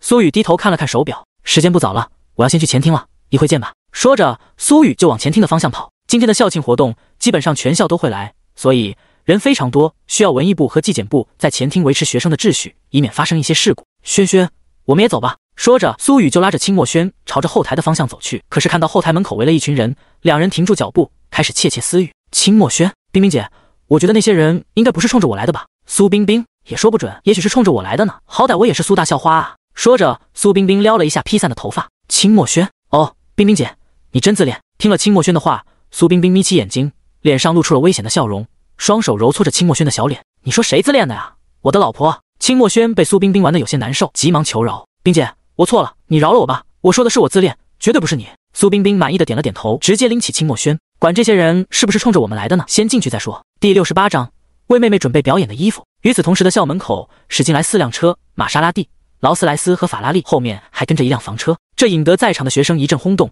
纷纷掏出手机拍下来。随着车辆停靠在学校内，车上也纷纷走下来几人，亲老爷子和亲夫人以及亲家两兄弟。老爷子虽年过半百。但是气势却不曾减少一分，穿着黑色的西装，脸上没有丝毫沧桑的痕迹，甚至可以说还有着几丝帅气。亲夫人虽有天命之余，但风韵犹存，一身锦色旗袍衬托着亲夫人的魅力，显得尤为年轻。亲家两兄弟就更不用说了，那颜值非常人所能及，极为出色的事迹让他们在新一代的青年中脱颖而出。这四人只要是上网的人都认得。再说了，豫大最大的投资商就是亲家，学校里甚至都挂着照片。我靠，亲家的人怎么来我们学校了？姐妹，你快掐我一下子！我怎么看见偶像了？我是不是在做梦？不少女生泛起了花痴样。啊！你他妈真掐啊！疼死我了！别叫了，专心看位帅哥啊！我要是能嫁给他多好啊！别白日做梦了，人家青少爷不可能看得上你。虽然四人都能听到这激烈的讨论声，但谁都懒得去管。为了专门能看闺女妹妹表演节目，紧赶慢赶的把公司所有任务都处理完了。酷虚，苏冰冰带着清墨轩冲进了后台，两人舒了一口气。后台面积比较大，里面准备的也有百人之余。校庆活动，每个系都有表演者。豫大作为国内数一数二的经济学大学，有着二十二个专业，两万多学生，每个专业都会出几个学生来参加表演。完了，我忘带表演的衣服了。清墨轩猛然想起来的时候太匆忙，忘记带衣服了。你这身衣服也挺好的呀。苏冰冰看着面前的清墨轩，越看越可爱。情人眼里出西施，我穿这一身也不是不行。清墨轩低头看了看自己米白色的连衣裙，又看了看面前落地镜前的自己，挺不错。阿轩，哥哥来给你衣服了。清墨云这一声，直接把后台所有目光都吸引过去了。你怎么来了？清墨轩有些疑惑的问。你还说呢，你参加个节目连个衣服都不带吗？清墨云有些嫌弃的看着自家妹妹，念叨着：“哎呦，妈，你撒手，疼！怎么跟你妹妹说话呢？我揪你耳朵都算轻的。”白婷恨铁不成钢的揪着老二的耳朵，快给你妹妹道歉，对不起，妹妹。清墨云满脸都是哀怨，不情愿的道了歉。白婷这才作罢，闺女啊，老妈看你衣服没带，就随便买了几百件带过来，让你挑挑。白婷直接语出惊人，清墨轩瞬间懵了，一脸无语。妈，我就参加个校庆活动而已，又不是去参加什么艺展。我就是说嘛，咱闺女就是参加个学校周年庆，用不着这么多衣服。青老爷子也缓步迈进了后台，嘴里说着：“少管我，我乐意。”白婷展现出了作为，小女生的倔脾气。好好，都依你，想买啥就买啥。青老爷子看着给自家媳妇惹生气了，急忙去哄。咦，大哥呢？没来吗？青墨轩发现全家都来了，就大哥没来，随口问道：“你大哥在房车那边等着你呢，你先去那边找他吧，顺便把衣服也换了。”青老爷子一边哄着自家媳妇，一边说道。听到这话的青墨轩拉起旁边苏冰冰的手：“冰冰姐，走去换衣服。”酷虚，我去。房车门被打开，映入眼帘的场景直接让青墨轩爆了粗口。整个房车内部被掏空了，上面加装了四根钢管，每根钢管上都挂满了衣服。最左边这一列是我选的，中间这两列是老妈和老二选的，最右边那一列是老爹选的。清墨尘在一旁解释。清墨尘眼光不错，挂着几十件不同款式的裙子。算了，懒得说名字了。白婷的眼光和清墨尘的大差不差，看到右边的两列，清墨轩的嘴角抽了抽，这是什么玩意啊？这能穿吗？果然，二哥就是二哥，一如既往的不让人失望。一列粉色的衣服显得格外耀眼，只不过闪耀的有点辣眼了。看到老爹选的，好吧，清老爷子才是狠人。一列大红色的衣服，这还不如老二的呢。看来衣服只能从老妈和大哥选择的衣服中挑出一件了。选衣服的事让清墨轩有些头疼。冰冰姐，你觉得我穿哪一件合适啊？你不是选择唱《素颜》吗？这首歌是写关于初恋的，那你就来个初恋回忆，对这首歌更应景。苏冰冰一边分析一边解释，那一件纯白色的连衣裙就不错，再配上清淡的素颜妆，画出来肯定美极了。一边说着，苏冰冰嘴角扬起了笑容。清墨轩有些发懵，初恋回忆连衣裙，这都啥跟啥啊？算了，不管了，冰冰姐推荐的肯定没有差错。不一会，清墨轩便穿上了那一件白色连衣裙，从房车上下来的瞬间，惊呆了在场围观的众人。一身白色连衣裙的清墨轩，没有过任何胭脂俗粉的污染。干净的像仙子般美丽，尤其是那脸上带着的几丝婴儿肥，更像是记忆中初恋的稚嫩。卧槽，老妹啊，你这也太他妈好看了！清墨云看着自家妹妹，直接来了句东北方言，然后受到了自家老爹老妈的爆头一击，委屈巴巴的缩了回去。其实不单单是学生被震惊住了，就连苏冰冰也有一瞬间的失神，看着清墨轩白如牛奶的肌肤，在连衣裙的衬托下似乎能发光。第六十九章万人大合唱。冰冰姐，咱们的节目要等到什么时候啊？清墨轩无聊的刷着手机，应该得等到下午四点以后。靠，现在才两点，还要等那么久啊！清墨轩快崩溃了。学校也不知道咋想的，给他和冰冰姐安排了压轴，美其名曰校庆最后的轰动。清墨轩揉了揉小肚子，饿了。苏冰冰实在是无语了，你才刚吃完多大会啊，咋又饿了？这不是太无聊了吗？所以我想再吃点东西。清墨轩两根小手指头对着戳，声音也越来越小。艾，苏冰冰叹了口气，现在应该到不了我们，那我们去学校旁边的小吃街吃点吧。哦哟，冰冰姐，我就知道你最好了。酷虚，这回吃饱了吧？苏冰冰提着一堆吃的，满脸无奈的问。嘿嘿，饱了。清墨轩拍了拍吃饱的小肚子，在苏冰冰的一旁跟着，两个人并排走在枫树林小路边，安静的。算了吧，安静个屁！清墨轩那小嘴巴巴的就没停过。酷虚，接下来有请我们的苏冰冰同学为大家献上一支舞。怎叹？随着主持人的话落，他一下响起了轰鸣般的掌声。终于能看到苏大校花跳舞了。好激动啊，兄弟们，我想追苏大校花，怎么样？黑哥们，苏大校花是我的，你没机会。你俩在那说啥呢？苏大校花是什么人啊？对谁都是冷三分。你们忘了之前刘少被苏冰冰骂成什么样了？台下众人讨论声此起彼伏，但随着一身素青色汉服的苏冰冰的入场，厅内顿时鸦雀无声。大家好，我是来自经济管理系的苏冰冰，现在为大家献上一支舞，希望大家能够喜欢，谢谢。仅仅是一段开场词，就引得全场掌声轰鸣。随着音乐声的响起，苏冰冰从身后拿出了那一把扇子。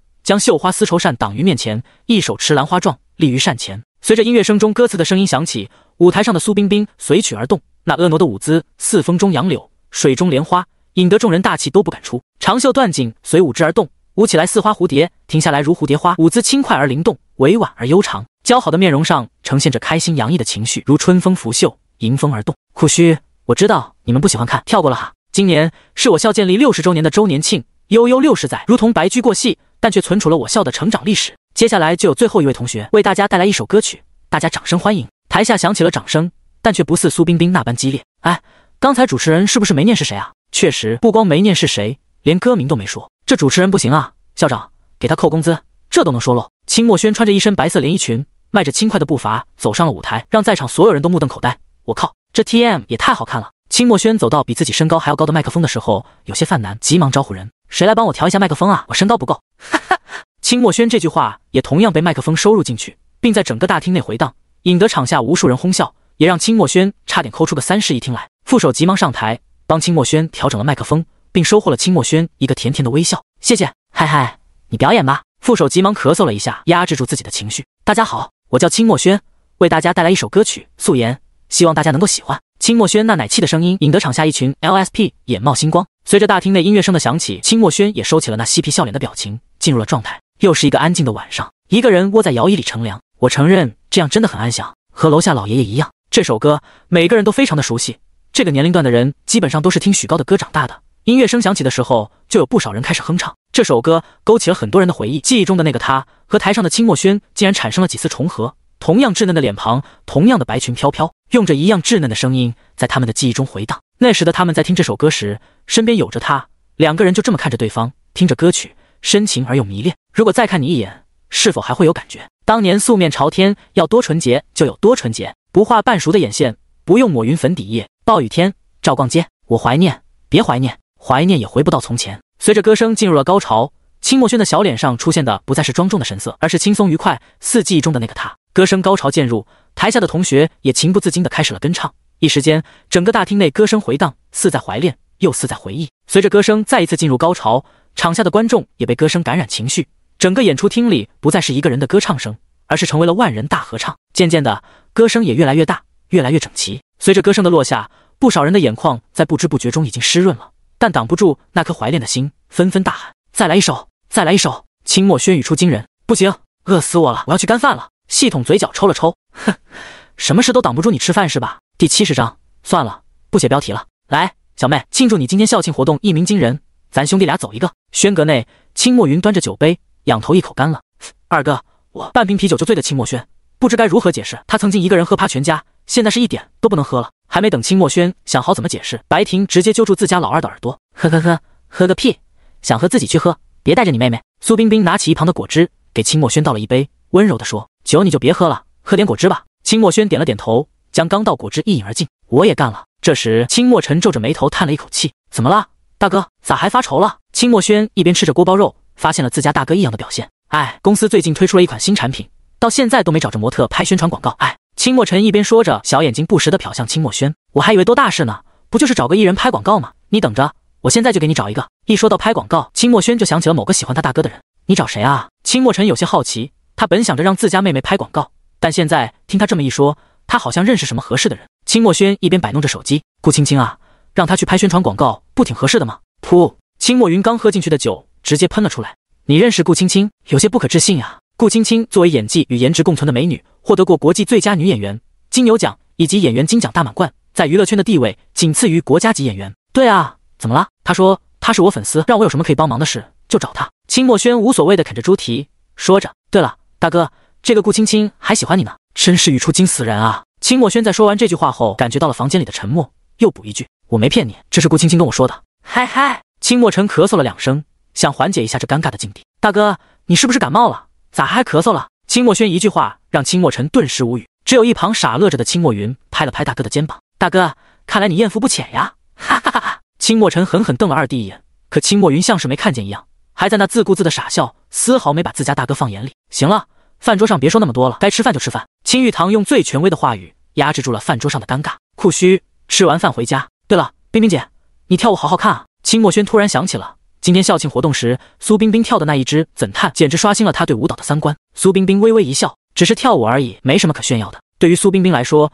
跳舞就好比喝水一样简单。《怎叹》这支舞，她仅仅在比赛前看了两遍而已。靠，你跳的那么好看，还不值得骄傲吗？清墨轩不知道该说啥，这舞蹈功底至少是高级舞蹈技能了，比他强多了。哦，你对舞蹈这么感兴趣，要不要姐教教你啊？苏冰冰的嘴角扬起一抹弧度，慢慢的朝着清墨轩走近。清墨轩看着这样的苏冰冰，心里总感觉怪怪的。渐渐逼近的脚步使他下意识的向后退去，可直接被苏冰冰拦腰抱起。怎么，姐姐教你跳舞，你躲什么呀？冰冰姐，我……嗯。清墨轩刚想说话，直接被苏冰冰的鲜艳的红唇堵上。苏冰冰两只手也开始慢慢的摸索，想要褪去清墨轩的衣服。嗯，冰冰姐，别在客厅，去卧室吧。清墨轩躲开了苏冰冰的唇，有些娇羞的说道。这句话正中了苏冰冰的下怀，嘴角的笑意更深了。你确定要回卧室吗？清墨轩总感觉苏冰冰的语气怪怪的，但还是下意识的点了点头。在卧室总比在客厅沙发上强吧。可是，一进卧室的门，清墨轩顿时傻眼了。第七十一章学习能力之快速理解。房间里的灯被换成了淡红色的氛围灯，床上也铺了一层红色的玫瑰花瓣。玫瑰花瓣的正中间是一个黑色的方形盒子。冰冰姐，清墨轩看着面前被改造成情侣酒店样子的房间，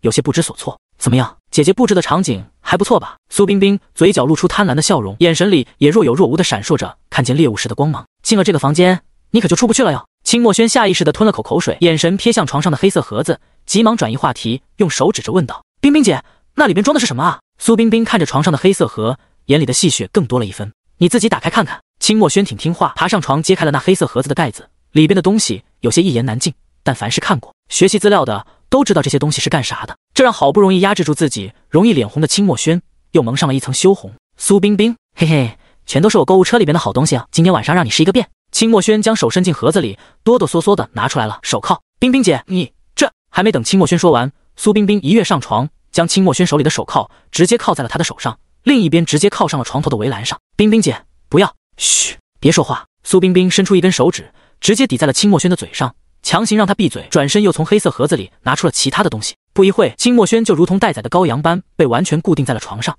苏冰冰看着自己的杰作笑了笑，然后将身后的被子直接盖在了两人的身上。凌晨两点。苏冰冰松开了已经昏迷的清墨轩，然后抱在怀里，闻着那浓重的奶香味，进入了梦乡。一夜无话。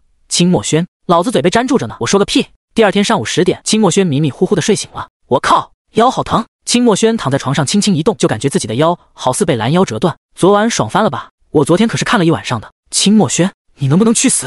你哪个狗眼看见老子爽了？老子昨天快被折磨死了。啧啧啧，咱也不知道是谁，那表情反正是挺享受的。清墨轩。我井号井号井号，你个井号井号东西！你井号井号的，我就井号井号井号井号井号井号，你哥也死！骂了有五分钟之久，清墨轩才长长的喘了一口气。爽也是有的，但是他是被迫的。清墨轩，系统，你有没有什么武功秘籍之类的？你要那玩意干嘛？系统扣了扣鼻屎。清墨轩，一直是受，你能受得了吗？我想当攻，有是有，只不过不太适合你。清墨轩，别废话，给我拿来。好，葵花宝典，欲练此功，必先自宫，必学功，一辈子不能沾荤腥。北冥神功，容貌尽毁。就这三本，你选一个吧。清墨轩的嘴角抽了抽，第一本他不能练，第二本不可能练，第三本死吧！清墨轩又陷入了颓废的境地，难不成他一辈子都是被压在身下的那个吗？可话锋一转，刚才还无比颓废的小脸上全都是坚决。清墨轩紧紧攥着自己粉嫩的小拳头，我要去练功，一定要拜苏冰冰，成为人上人。然后，靠，这题怎么这么难呀？清墨轩看着留下的作业，急得抓耳挠腮。系统，我不是有过目不忘吗？怎么看到这种题还是不会啊？你那叫过目不忘，只能说把它记住，并不能理解。你是不是傻啊？本来脑瓜子就不聪明，现在又落人家半个学期的课程，我这大学还不如不上啊！真狠，不会做题连自己都骂。清墨轩脑瓜一动，对了，我不是有几百任务点的吗？买个关于学习的技能还是比较轻松的。系统，你是不是跟我有仇？我就四百任务点，你这快速理解就卖四百？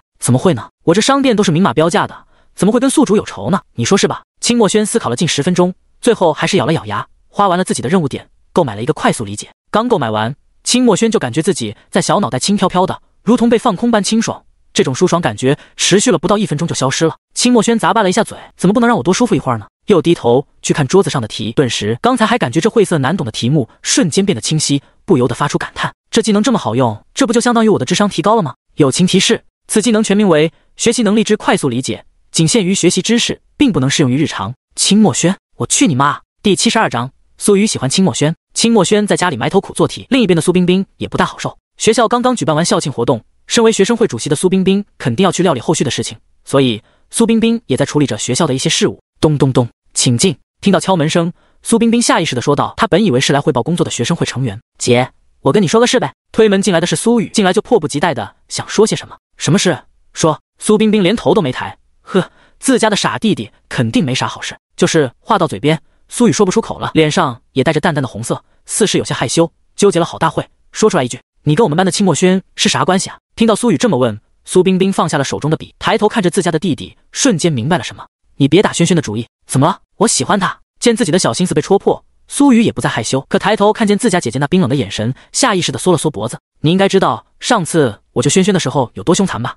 如果你也想尝试一下的话，我不介意帮你松松皮。苏冰冰眯着眼睛，露出一个危险的笑容。姐，我错了。苏雨看到自家姐姐这威胁的表情，只感觉双腿发软，差不点没跪下来。行了。你要没什么事，先走吧。叮嘱你一句，如果你想打轩轩的主意，先过我这关。苏冰冰又转过头处理着一些事情，平淡的说：“苏雨在自家姐姐这吃瘪，肯定不会善罢甘休。哼，你不同意，我就自己去追。等我追到手，看你还有啥说的。”库虚，清墨轩，嗯，清墨轩伸了个懒腰，花了一上午，终于把这半个学期的课程学完了。不得不说，要是没有这快速理解的技能，给清墨轩两年都不一定能学会。中午一定得给自己好好补补。清墨轩这样说着，掏出手机给苏冰冰打了个电话：“喂。”冰冰姐，你中午回来吃饭吗？不一定，我处理完手头上的事，可能也得到一点多啊。想给苏冰冰准备个惊喜的清墨轩，心里有些失落，小脸上写满了不开心。看着清墨轩这样，苏冰冰笑出了声，哈哈，逗你呢。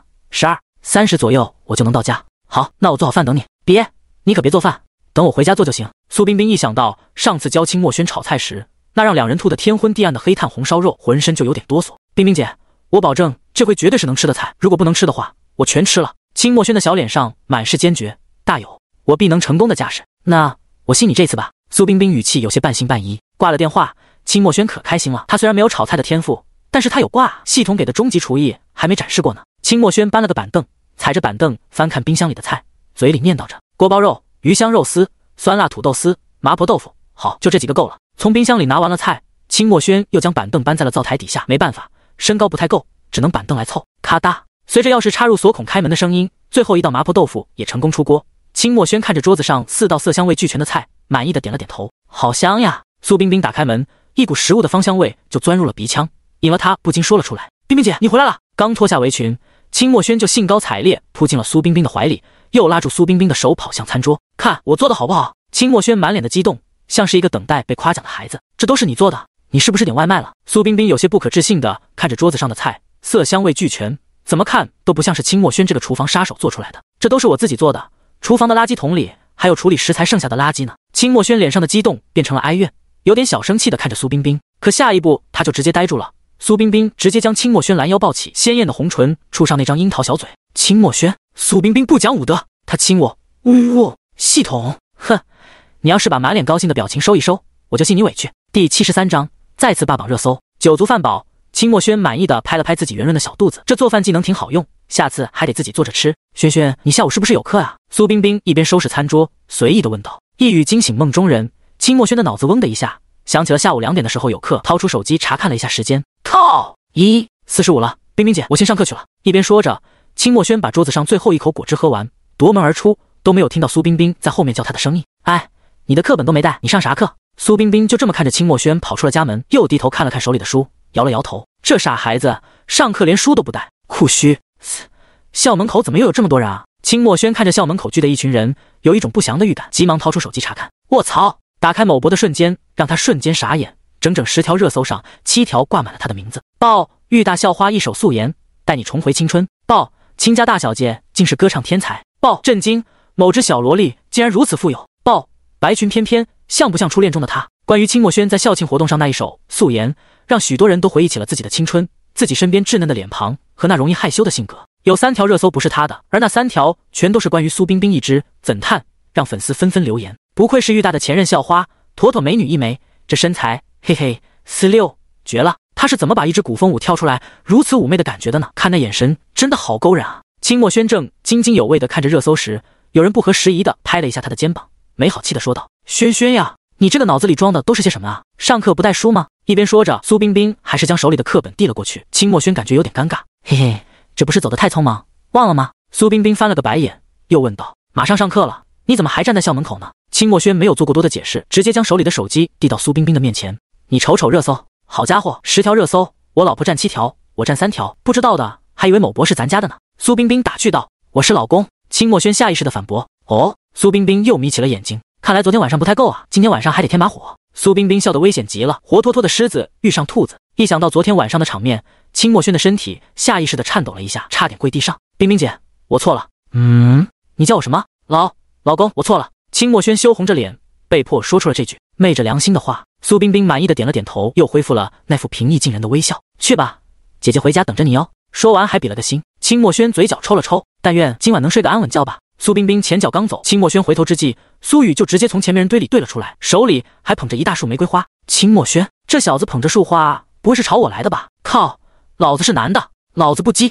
贱系统，你没大龙。齐墨轩同学，你快过来看看我为你准备的惊喜。苏雨穿着一身篮球服，戴着个发带，全身散发着阳光少年的气息，捧着一大束红玫瑰，站在人群的边缘，冲着清墨轩招手。清墨轩，得，真就冲我来的呗。没办法，清墨轩得回去上课，至少也得从校门口进去。现在又来了个苏雨，只能尝试一下，看看能不能从正门进去。贴近人群处。清墨轩就从人缝中看见了一些若隐若无的烛光，而随着清墨轩一步步的贴近，人群主动让开了一条路。顿时，一个由红色蜡烛组成的心形图案出现在清墨轩的面前，里边还蹲着一个手捧红色玫瑰花束的脑残。清墨轩同学，我喜欢你，你能做我女朋友吗？苏雨脸色庄重，单膝下跪，直视着清墨轩。完了，这孩子弯了。还没等清墨轩想好怎么拒绝苏雨，就看到一道身影如流星般接近苏雨，直接一个背摔，将苏雨整个人砸到了心形蜡烛上。老娘跟你强调多少遍了？让你别打轩轩的主意。苏冰冰脸色阴沉的吓人，看着自家的傻弟弟，也不好再多动手。嗨嗨，姐呀，你是真想死手啊！苏雨忍着浑身的痛，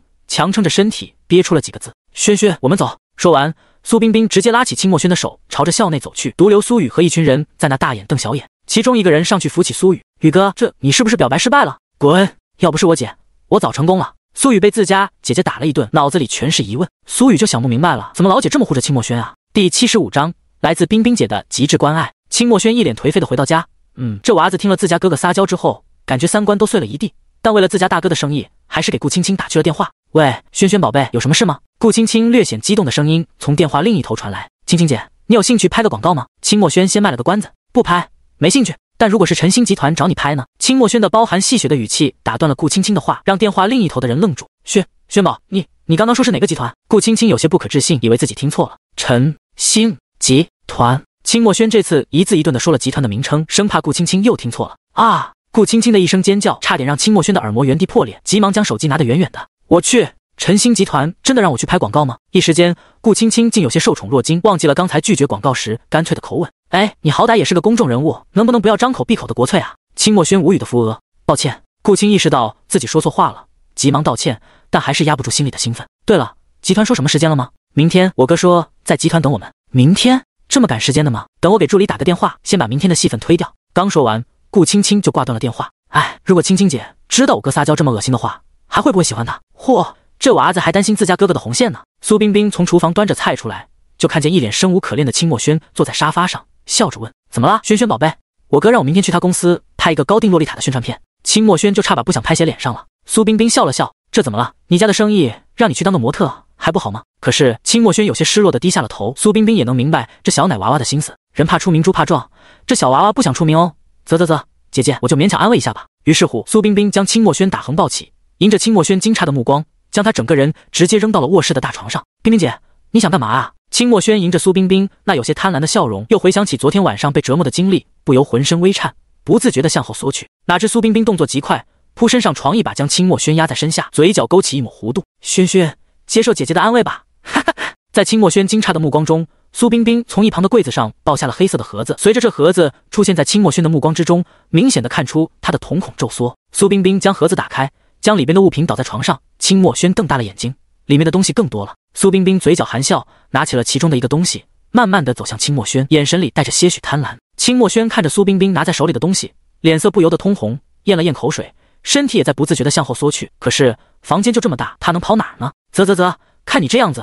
痛并快乐着，系统正看着直播，下意识的说出了心里话。清墨轩，我井号井号井号，你的井号井号井号井号，老子在这井号井号井号井号井号井号井号，你井号井号井号还看井号井号，我就井号井号井号井号。清墨轩一边感受着身体传来的感觉，一边在脑海里骂着系统。不得不说，还行。第七十四章，来自大哥致命的撒娇。教室门口，苏冰冰对着清墨轩说了好几遍，别理苏雨那傻叉。见清墨轩听话的点头，又叮嘱了一句：苏雨那小子要再找事，你就直接来找我，我砍死他。嗨嗨。清墨轩吓得不轻，对自己堂弟可真下得去手啊！随着清墨轩迈进了教室，讲课的老师一下就安静了下来，全班人的目光都锁定在门口站着的女生身上。老师，对不起，我来晚了。清墨轩有些尴尬的不知所措，打断老师上课也是个不礼貌的行为呢。老师看着这么诚恳，道歉的学生也不好说什么，就给了清墨轩一个台阶。你说一下质量管理发展阶段。质量管理发展阶段分为三个阶段，分别是质量检验阶、统计质量管理阶段、全面质量管理阶段。嗯，不错，抓紧去座位上吧。老师满意的点了点头，清墨轩长舒了一口气，还好这个老师脾气好，没给他出什么难题。不对啊，他有学习能力之快速理解技能，难题也不可能难得他。老师讲了一下午，清墨轩也睡了一下午，终于在老师说下课的时候，清墨轩瞬间清醒，抱着课本，百米冲刺的往家跑。靠，饿死我了！跑出去一百米，呼呼，我不行了，呼，呃，果然是百米冲刺。叮铃铃，这时清墨轩的电话铃声响起，他倚靠在一棵树旁，接起了电话。喂，哪位？对面显然愣了一下。嗨嗨，我是你大哥哦，大哥有啥事说吧。清墨轩一副吊儿郎当的语气，跟他的二哥如出一辙。你最近有啥事吗？如果没事的话，来我公司拍一组宣传片吧，给你工资。清墨尘还是对看到自己妹妹拍出来的宣传片有着执着的心理。我没啥事，我不是让顾青青去你公司拍吗？你是说过，但有一组宣传片特别适合你。清墨尘尽量掩饰着自己内心的喜悦，用最平静的语气说着：啥宣传片啊？适合我？清墨轩心里疑惑。自己大哥搞的不是化妆品和护肤品，以及各种高定服装之类的吗？这东西适合他？嗨嗨，清墨尘清了清嗓子，面不改色的说道：“你哥我最近拓展了高定洛丽塔裙子，所以想让你来帮我拍一组宣传片。”啧啧啧，为了让妹妹这个挂名艺人来一次公司，清墨尘特意拓展了公司的业务。靠，小爷我不去。大哥的话成功将清墨轩心底最后一丝男子气概给勾了出来。想到以后自己穿着洛丽塔的照片会被放置在各大广告之中，丢脸。嗨嗨，你现在是女生，注意一下自己的言辞。可下一秒。清墨尘瞬间画风突变，哎呀，我的好妹妹，你就来嘛，漂亮！冰山霸总为了让拍宣传片，直接整上了撒娇这一套。这一幕让推门进来的特助看的是目瞪口呆，警惕的观察了一下，发现老板没在看他，又蹑手蹑脚的退出了办公室。卧槽，刚才那一幕是假的吧？特助有些不敢置信的抽了自己一个大耳刮子，那真实的疼痛不禁让他倒吸了一口凉气。卧槽，老板不会让人夺舍了吧？特助迅速掏出手机，往员工群里发了一条消息：特助家人们，老板被人夺舍了怎么办？于是，特助成功收获了全公司所有人的问号。特助，我刚刚看到老板对着手机撒娇了，真的，反正是一堆卧槽。酷虚，清墨轩，清墨轩被自己哥哥撒娇的声音整得起了一身的鸡皮疙瘩。咦，哥，你别撒娇，人设呢？冰山霸总呢？哎呀，妹妹来哥哥公司吧，算哥哥求你了，好不好？清墨轩整个人都被雷到了。操，这是我大哥吗？要不要这么恶心？我还没撒娇呢，你这就撒上了。为了防止再被自己哥哥恶心到，清墨轩攥了攥小拳头，丢脸就丢脸吧，反正比被大哥恶心到强多了。哎呀，行行行，我答应还不行吗，哥？嗨嗨，一听到妹妹答应了，清墨尘也收起了刚刚的嘴脸，又恢复了冰山霸总的状态。六月十九号，也就是明天，公司不见不散。清墨轩，说句实话，大哥应该是被夺舍了，要不然怎么能做出来这么恶心的撒娇呢？系统，嗨嗨，咱就说有没有可能他是想宠妹妹呢？第七十六章，刘小月、清墨轩和苏冰冰。最开始的时候是苏冰冰单方面的压制清墨轩，后来苏冰冰将清墨轩身上的束缚解开，两人缠绵于被窝之内。粉色温馨的房间内充满了女性荷尔蒙的气息。凌晨一点，清墨轩完全没有体力了，迷迷糊糊的躺在苏冰冰的怀里睡着了。一夜无话。清墨轩，有没有人为我发声？我不想被调教啊！叮铃铃，一阵电话铃声让睡梦中的清墨轩强行开机。起床气非常大的清墨轩表示：谁都不能拦着我睡觉，谁拦我骂谁。喂，谁啊？大早上扰人清梦缺德，知不知道？清墨轩火药味十足，对面的人丝毫没有被这火药味所影响。喂，轩轩宝贝，我们什么时候出发？这语气异常开心。清墨轩迷迷糊糊的将手机拿下来一看，嚯，顾青青，这是有多迫不及待啊？早上六时打电话，清墨轩直接不耐烦了，咱能不能别急啊？啥时候到都一样，反正我哥也不在乎。哼，对于一个凌晨一点才睡着的人，六点喊得起来，这不要老命吗？听到这话的顾青青有些娇羞的不知道该怎么说，匆匆的挂断了电话，活像个恋爱脑，不对，就是个恋爱脑。清墨轩一觉睡到了中午十二点，要不是苏冰冰叫他起床吃饭，他都不知道要睡到什么时候去。饭桌上，清墨轩一边往嘴里扒拉着饭，脑袋不时的向下磕去。嗯，没睡醒。苏冰冰看着墨轩的样子，无奈的摇了摇头。你不是要去你哥哥的公司拍宣传片吗？你打算什么时候出发？嗯，清墨轩睡眼惺忪，被这么一问，还真的有点蒙圈。反应过来后，惊呼出声：“我靠，我忘了。”对他去不去无所谓，但是他必须要把顾青青送过去。于是飞快的扒拉两口饭，就急匆匆的想要出去，被苏冰冰一把拉住，来让姐姐亲一口。说着还不等清墨轩做出回应，直接亲在了清墨轩粉嘟嘟的嘴唇上。清墨轩也坦然接受了，毕竟调都调教过了，再不听话，那可就不好了。另一边的清墨尘可没这么好过了，被一个二线女艺人折磨的都快疯了。姐呀，您从上午时玲玲过来就一直在休息了。这都下午两点了，你还拍不拍啊？特助表现的卑微极了，要不是这个二线女艺人是一个合作方塞进来，老板早就给撵出去了。我浑身酸疼不行吗？再说了，你们这么大一个公司就不允许艺人歇会了？刘小月有些生气，不就是休息了四个小时吗？至于一直催吗？好大的威风啊！清墨轩的声音从摄影棚外传了进来，随后便看到一个娇小可爱的身影从正门走了进来，手上还一直在鼓掌。这一幕直接引起了刘小月的不满。这是我的摄影棚，你进来做什么？又吩咐一旁的助理把他撵出去。助理也是敢怒不敢言。跑到戚墨轩的旁边，小声地说：“这位小妹妹，你先出去吧。”戚墨轩被惊住了，他从未见过如此厚颜无耻之人，直接怒道：“这是我的地盘，你在这撒野，问没问过我的意见？”刘小月笑了，笑容极为轻蔑：“哼，这要是你的盘，那我就是这晨星集团的董事长了。”戚墨轩也不想多说别的，直接开嚎：“哥呀，你妹被人欺负了，你人呢？”刘小月见状，直接笑了，拍了一下旁边的助理：“哎，你看这是不是个傻子呀？”哈 哈助理也不敢多说什么，只能尴尬的陪着。可是随着清墨轩的话音落下，摄影棚外传来了一道低沉富有磁性的男声：“来了，别喊了，行不行？耳朵都要震碎了。”声音由远及近，这样盆走进来一位身着高定西装的帅气男士。进来第一句话，直接让在场的人都愣住了。只见清墨尘询问旁边的特助：“刘小月怎么还不走啊？不就一张图片吗？怎么没拍完吗？”声明在这里先跟大家说个对不起，我因为工作原因以及这一个月以来休息的不足，导致有轻微心绞痛，所以我打算这几天不定时更新，也就是给自己放个假。希望大家可以谅解，谢谢。第七十七章，顾青青喜欢你。刘小月好似没听见清墨尘跟特殊说的话，迎着笑脸就上去了。哎呀，青总好，那用科技与狠活堆出来的脸，这么一笑，看得清墨尘想吐。你不就一张图片吗？怎么还没拍完吗？清墨尘冷着脸问道。一提到这个，刘小月可就有的编了，那脸顿时变得委屈起来了。我从南城赶过来好几百公里，想休息一会，这些员工还一直催着我拍。刘小月就那自以为很魅惑的眼睛，挤出了两滴眼泪，整个人显得可委屈了。不知道的还以为他受了什么大冤屈呢。哦。那我是不是也该休息一会啊？清墨轩直接插话，开始了他的大戏，抱起清墨尘的胳膊，哥哥，那我能不能休息一会啊？清墨尘看出了妹妹在演戏，直接冷脸，我们公司的人不需要不求上进、怠慢工作的人，所以你要么拍，要么走。刘小月被这一幕这整得有些尴尬，她当然知道这是在指桑骂槐了，但是她来目的是为了让清墨尘上她，好整出来点清墨尘的绯闻。事到如今，只能继续往下演了。可刘小月刚想哭丧，就瞥见了从摄影棚外进来的艺人，惊得她瞳孔骤缩。满脸不可置信的指着来人，顾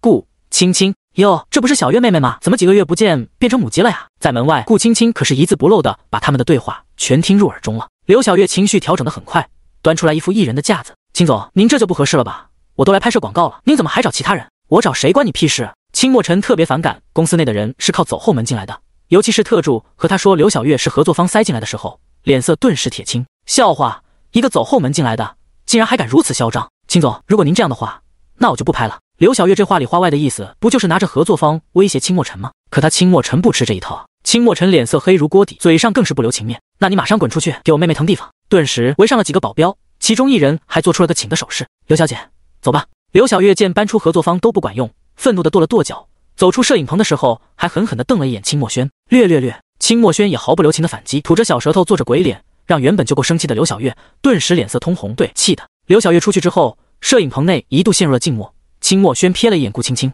好吗？这姐姐刚才不挺霸气的吗？这会怎么蔫了？此时的顾青青脸色潮红，眼睛似有似无的看着某人。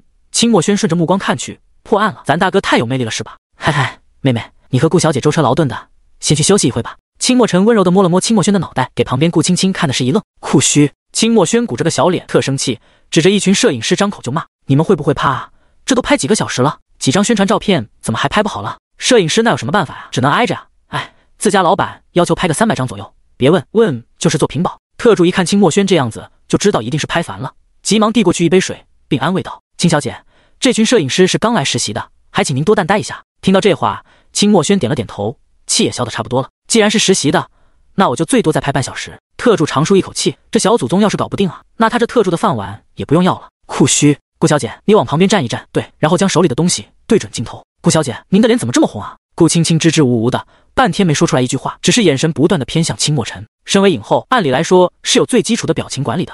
其实顾青青也想要不脸红，只不过在自己喜欢的人面前有些害羞罢了。清墨尘沉思了一会，顾小姐，要不然明天再拍摄吧，您先处理一下您的情绪管理问题了。这句话让顾青青有些无地自容。她不管拍什么戏，基本都是一条过，但迎上清墨尘那张帅气无比的俊容，更多的则是害羞。晚上回家的时候，清墨轩坐在清墨尘的车里，看着自家大哥唉声叹气：“咋了，大哥？啥事让你愁成这样？”顾青青真的是影后，突如其来的一句话让清墨轩有些发懵。咋啦？出啥事了吗？这个顾青青啊，今天拍摄的时候连最基础的表情管理都做不到，我现在在怀疑她这影后的真实性，好吗？这就是情商负数说出来的话。清墨轩都不想去听自家大哥那没脑子的发言。咱就是说，有没有可能是看到某一个人才会脸红呢？清墨尘听得云里雾里。摄影组有顾青青喜欢的人，清墨轩，呵呵，想要脑子健康，远离大哥。清墨尘顺了口气，有没有一种可能，他喜欢你呢？这句话直接给清墨尘问死了。表演了一手问啥都不说，给清墨轩急得抓耳挠腮。大哥呀，我就想问问你，你到底对顾青青有没有感觉？要不是老妈给的任务，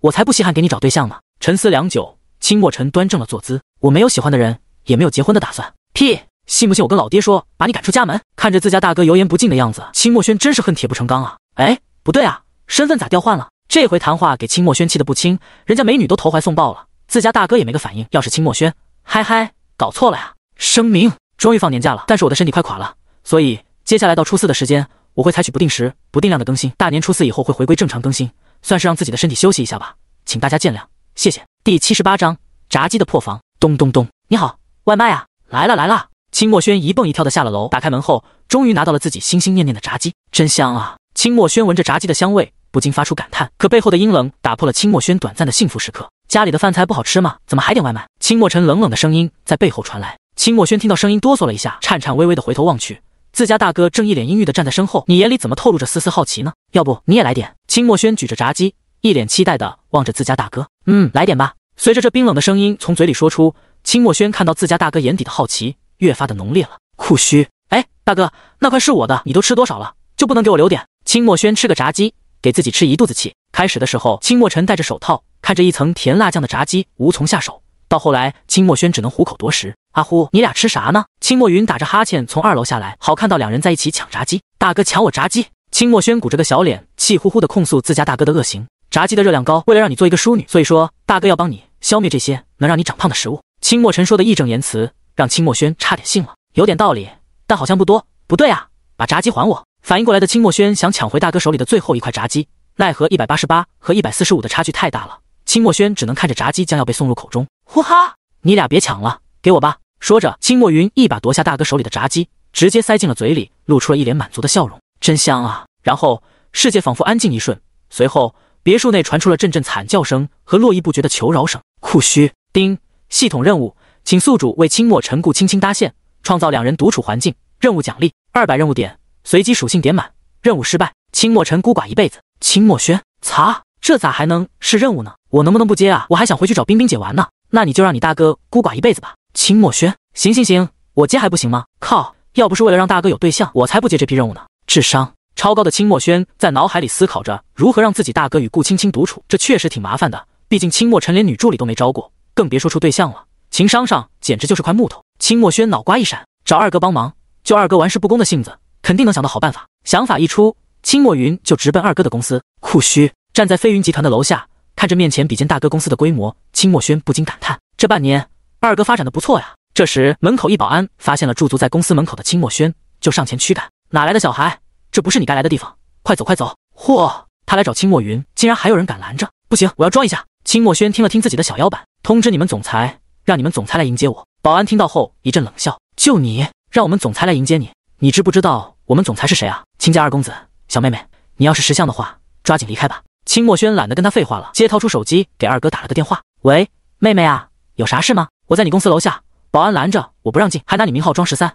你要不下来亲自迎接我吧？行，等着，两分钟就下来。说完，清墨云就挂断了电话，坐着电梯就往下走。公司门口，保安一脸轻蔑的看着清墨轩的表演，有些嘲讽的说道：“小妹妹，人要讲诚信，不要以为假装打了个电话，我们总裁就能下来接你。”清墨轩抬头淡淡的扫了他一眼。两分钟后，你们总裁绝对会出现在这，如果不出现，我自行离开。保安心里一阵冷笑，小孩就是小孩啊，异想天开。总裁是何等量级的大人物，怎么会去迎接这小孩子？第七十九章二哥的崩溃。保安一脸不耐烦的瞥了眼手表，小妹妹，这都三分钟了，你还是快走吧。正玩着手机的清墨轩抬头扫了他一眼，眼神示意他看身后。保安一脸不屑的扭过头：“老板，你怎么来了？”嚯，这变脸比翻书都快，从一脸的不耐烦变成谄媚笑容，前后不足一秒。妹呀，来了都不提前跟二哥说一声，跟我去办公室吧。清墨云笑呵呵的上前拉起了清墨轩的小手，满脸开心的往公司里走去，独留下保安在风中凌乱。库区顶层总裁办公室，俩人悄咪的说着悄悄话。清墨轩，二哥，问你个事，你说大哥这人以后咋找对象啊？清墨云，呃，你这问题难倒我了，要不我算算？清墨轩。你可拉倒吧！你算啥？算姻缘看手相，还是代入数学，计算一下大哥的情商找到对象的几率有多少？清墨云，我刚刚细算了一下，以大哥的情商找到对象的几率为负百分之二十六。清墨轩的嘴角抽了抽，你咋算的？这你就不用管了。随着清墨云像是换了一副嘴脸，一本正经的说：“说吧，来找我有什么事？”嘘，小声点，别被别人听到。清墨轩将手指抵在自己的嘴唇上，做出一个噤声的动作，引得清墨云好奇无比，说话时的声音也小了。说吧，什么事？你知道顾青青吧？顾青青喜欢大哥。什么？清墨云的声音不自觉的尖锐了几分。你闭嘴！听你说几遍了，小点声。哦，他哥还有人喜欢？那榆木疙瘩除了会赚钱和欺负我们兄弟俩，他会干点啥？清墨云实在想不通，自己这么优秀的一个人，哪比不上大哥了？人家的暗恋者竟然是个一线顶流。想想可悲的自己，到现在还是孤寡。清墨云不禁产生了羡慕的情绪。所以咱们一定要把握好这次机会，争取让大哥找到对象。清墨轩一脸决绝的攥紧了小拳头，心里想的是。给这榆木疙瘩找对象真不容易，好不容易有一个喜欢他，可不能放走。嗯，清墨云有些生无可恋的嗯了一声，悲哀呀，大哥都有人喜欢我呢，咋回事？就我孤寡呗。刚刚还一脸坚定的清墨轩，下一秒就泄了气，趴在桌子上，手指扣着二哥摆在桌子上的小摆件。可是有什么办法可以让大哥感受到顾青青对他的爱意呢？嗯，沉浸在悲伤中的清墨云啥都没听着，必须给他俩创造一个独处的空间，好让他们增进感情，让顾青青向大哥表达爱意。清墨轩成功的将话题引入了正轨。嗯，清墨云气的抓耳挠腮，所以咱们制定一个计划吧。嗯，哎，你听没听我说话呀？嗯，清墨轩看着二哥生无可恋小表情，无奈的叹了口气。看来大哥有追求者这件事，对二哥的小心灵伤害不小啊。酷虚妹妹，咱这样行吗？清墨云脸无语的捧着一大束鲜艳的红玫瑰，悄咪的跟在清墨轩的身后，来到大哥的公司。嘘，小声点，我敢肯定，我的计划绝对会成功。清墨轩说着，你先在这里等我一会，我先去找顾青青。酷虚，摄影棚内。顾青青正准备拍摄最后一组宣传片，心情莫名的有些失落。这时，门口突然探进来半个小脑袋，蓝色的头发，大大的眼睛，在这整片绿色的摄影棚内显得格外显眼。当然，顾青青也与那双乌黑发亮的大眼睛对视上了。青青姐，你过来。清墨轩伸着手招呼顾青青过来。怎么啦，轩轩宝贝，有什么事找姐姐吗？顾青青见到清墨轩后，心情莫名的开心，语气也包含着温柔。你先跟我去一个地方。清墨轩故意卖了个关子，保持神秘感吗？第八十章。哦吼，大哥快脱单喽！你确定没带我来错地方？顾青青指了指面前的总裁办公室，语气中还透露着一些羞涩。你别管了，跟我进来吧。说着，清墨轩直接拽起顾青青的手，一把推开了办公室的门。大哥，我有点事跟你说。操！吓我一跳。清墨尘被清墨轩突如其来的大吼，直接吓得爆了粗口。清墨尘说完那句话，办公室里陷入了宁静。不知所措的清墨尘，一脸无语的清墨轩，还有个脸色晒通红的顾青青。嗨嗨！清墨尘咳嗽了两声，想要缓解办公室里的尴尬，努力维护自己霸总的形象。阿轩啊！下次进办公室之前敲敲门啊，哥，今天我来找你是想让你将顾青青签为代言人，我就问你同不同意吧。清墨轩就差吧，你敢不同意吗？写脸上了。这番话让一旁的顾青青受宠若惊，急忙摆手拒绝。轩轩宝贝，这就不用了吧？给晨星集团拍宣传片已经是最大的荣幸，你先别说话。清墨轩直接打断了顾青青的话，冲着大哥挑了挑眉，心里想的，你要是不同意，你这辈子就孤寡吧。清墨尘也搞不懂自家妹妹的操作，直接问向顾青青，你愿意成为我公司的代言人吗？突然的发问让本就有些紧张的顾青青更加不知所措，不断的揉搓着裙摆，显得格外局促。我问一下我的经纪人吧。说完，顾青青快速的推开了办公室的门，落荒而逃。清墨轩看着顾青青离开的背影，恨铁不成钢的狠狠的瞪了眼自家大哥，那眼神仿佛在说：就你这样的，八辈子找不着对象。阿轩，我有点搞不懂你的操作，你让我把顾青青签为公司的代言人，究竟是为什么？清墨尘抵不住心中的好奇，毕竟情商负数的人不会去了解情情爱爱。清墨尘，你真是个榆木脑袋啊！脑瓜里除了装钱之外还装啥？你以后像孤寡一辈子吗？清墨轩气鼓鼓的指责大哥，恨的是咬牙切齿啊！给你机会你不中用啊！跟你说几遍了，人家顾青青喜欢你，你还不好好的把握这次机会？清墨尘被自家妹妹训了之后，没有生气，反倒是叹了口气。阿轩，你哥哥我虽然长得是挺帅，挺有钱，但除了这些之外，我一无是处啊！两袖清风怎敢误佳人啊！清墨尘，我是真心喜欢你。刚才在门外和助理通电话的顾青青，将兄妹二人的对话全听入了耳中。清墨尘刚说完话，顾青青就急切地冲了进来，想要表达自己的爱意。说完这句话，顾青青的眼眶微红，泪水也像决堤的大坝从面庞快速滑落。清墨尘，你还记得吗？十八年前，你曾在大柳山庄救过一个小乞丐，你给他买了新衣服，请他吃了一顿饭，并在大柳山庄居住了七天。走之前，给他留了一笔钱。而那个小乞丐在十八年前就已经爱上了你。当他知道你的身份的时候，他为了能配上你，拼命的去提升自己，去奋斗，去努力，只为能够配得上你。而那个小乞丐就是我。我为了成为影后，苦苦奋斗了十二年，从最开始的跑龙套到现在的辉煌时刻，我都只是为了配得上你。说到最后，顾青青的声音都开始变得呜咽，慢慢的蹲下，整个人也陷入了悲痛，仿佛是自己最后的灵魂寄托已经崩塌。清墨尘想上前安慰，却又不知道说些什么。一旁听完整个故事的清墨轩给了这家大哥一个刀眼，就蹲在顾青青的旁边，一直在安慰。Sup Pre S S 抱着一束红玫瑰的清墨云猛地推开了办公室的门，脸上的笑容也渐渐的凝固，这气氛有些不对啊。随后，一脸蒙圈的清墨云受到了两个人冰冷的眼神攻击，只能默默的退出了办公室。清墨尘长长的叹了一口气，其实当年的时候我也喜欢你。第八十一章咬碎后槽牙。清墨尘陷入了回忆，嘴里有意无意的呢喃着：“我作为清氏家族的继承人，从小就被灌输着以家族利益为主要思想。当年我九岁，陪同父亲去大柳山庄进行旅游社区建立的实地勘测。”说到这，清墨尘猛地抬起头。其实当年的我不知道情爱是何物，但唯独对你有着心动。这番话让本来沉浸在悲痛中的顾青青缓缓地抬起头，眼神中透露着疑惑。四目相对间，空气仿佛陷入了凝固。双向奔赴的爱情往往就是如此，对视中的眼神就可以看到对方的想法。渐渐的，清墨轩能感觉到房间里产生了一丝奇妙的气氛，悄咪咪的退出了办公室。清墨尘轻轻将坐在地上的顾青青扶起，表面上风轻云淡，其实内心慌的一批。顾青青也没好到哪去。清墨尘将她扶起的时候，她的脸已经开始慢慢的变红。她现在非常想将头靠在清墨尘的肩膀上。二哥，你说大哥这榆木脑袋能理解顾青青的意思吗？办公室被门外的两人打开了一条缝，两人细声交谈着。清墨云看着这一幕后，槽牙都快咬碎了。大哥的情商是不是都用来换智商了？这情况不轻一个。清墨轩将二哥手里的玫瑰花束拿了过来，快速的上手将玫瑰撕成了花瓣，俏皮的朝二哥眨了一下眼睛，看我的。清墨轩猛地将办公室的门推开，把办公室里面正心生情愫的两人吓了一跳。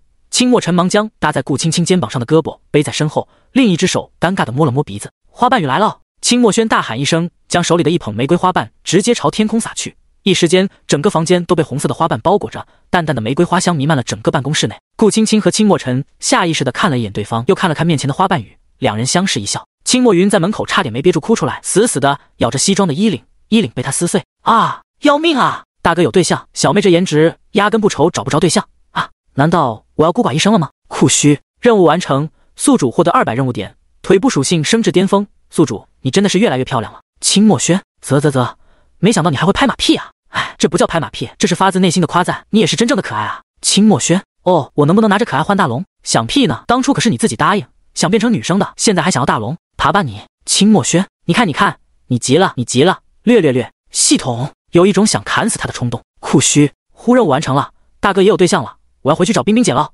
晨星集团公司门口，清墨轩边伸懒腰边往外走。一天没见苏冰冰了，甚是想念呢。嘿，说曹操，曹操到。喂，冰冰姐，怎么了？你什么时候回来啊？一日不见，如隔三秋啊。没有大抱枕，我睡不着啊。当然，半句苏冰冰肯定不会说的。安了，我今天就回去，大约两个小时后到家。说这话时，清墨轩莫名的有些小激动呢。那好，我在家里做好饭等你，爱你哟。木啊，冰冰姐，你要不别撒娇了呗？我听得一身鸡皮疙瘩。苏冰冰那平时冰冷的性格，撒起娇来竟然让人汗毛倒立。你说什么？对面的语气显然加重了，而且语气中似乎包含着几丝怒意。冰冰姐，我啥也没说，马上上车了，先挂了哈。然后清墨轩快速的挂断了电话。完了完了，说漏嘴了，这不完犊子了吗？第八十二章，懒得写标题。冰冰姐回来了，一打开门，清墨轩就看到了苏冰冰那张绝美容颜上带着阴晴不定的表情。苏冰冰嘴角带笑，但是脸色可怕的吓人。哟，这不是我们的大忙人清小姐吗？不是对我可嫌弃了吗？怎么还回家了呢？清墨轩下意识的咽了咽口水。冰冰姐，你听我解释，我就是一时嘴快。没过脑子，你就把我那话当放屁吧！哈哈，清墨轩打着哈哈，想要跳过这个话题。哼，苏冰冰可傲娇了，别转移话题，打算怎么道歉？不满意的话，我锁你喉。那我任由你处置。清墨轩小心试探道。嗯，不能反悔。苏冰冰见目的达成，心情也莫名的舒畅了不少。嘿嘿，完抱枕了。冰冰姐，要不然我们先吃饭吧。清墨轩摸了摸抗议发生的小肚子，唯唯诺诺的说道。沉浸在想象中的苏冰冰下意识的脱口：“嗯，对，先吃饭，不然一会没体力了。”啊，你啥也没听着，先吃饭。酷虚。房间内，苏冰冰将清墨轩压在自己的身下，清墨轩被迫感受着洗面奶的攻击。当然，这还不够，谁让清墨轩的奶娃娃敢说苏冰冰呢？嘿嘿，还口出狂言，任由处置。冰冰自然不能错过这次机会，好吧，错不错过都没关系，反正大把的时间就是机会。这奶娃娃又不可能打得过他。清墨轩的衣物被苏冰冰的纤纤玉指挑落，整个人如同一只小白兔，就是一对小白兔。这种事情已经发生过很多次了，所以清墨轩也不再脸红了。系统，那现在脸红咋回事？作者，哦，你说这呀？看见没？清墨轩被洗面奶攻击了，憋的。嘿嘿，扯远了。唇与唇之间的接触让清墨轩浑身瘫软，只有身体的自主呼吸还在进行，整个人陷入了沉醉。皮肤与皮肤摩擦声中，不时传出长短不一的娇喘声。整个房间散发着庞大的雌性荷尔蒙。经过长达三小时的战斗，清墨轩完全累脱了，整个人瘫软在床上，一动也不想动。苏冰冰好似没有受到影响，只是那满脸满足的神情，证明着刚刚发生的一切。啧啧啧，看来下一步得给你提升点体能了，要不然就你这体格，再来一次绑架。那不就嗝屁了吗？系统嗑着瓜子出现了，清墨轩，那你要不要把我之前的力量还给我？想得美，还给你也不是啥难事。只不过你见过 EM 四五的小萝莉徒手掰弯钢筋的吗？那画面想想就辣眼。清墨轩，那我咋提升体能？练武术，练散打，还是练自由搏击？我觉着吧，宿主去练武术最好了。系统一本正经的分析着，你想想，你练了武术之后，你就可以不用当兽了，你反倒可以将苏冰冰压到身下，这不香吗？清墨轩的眼睛一亮，脑海里想象着自己练了武术以后。轻松的将苏冰冰压倒，甚至还想象出了苏冰冰求饶的样子，嘴角慢慢的勾起抹浅笑。马上要过年了，家里需要忙活的事情也越来越多了，再加上我自己身体的原因，所以从明天到大年初三可能会短更或者断更，大年初四会恢复更新，到时候会爆更。第八十三章第二次。唉，时间过得可真快啊，转眼都到了快放假的时候了。清墨轩看着日历上的六月二十一日，不禁发出感叹：他变成女生也有一个月时间了，这一个月的生活可以说让他的收获颇深，有了一个校花女朋友。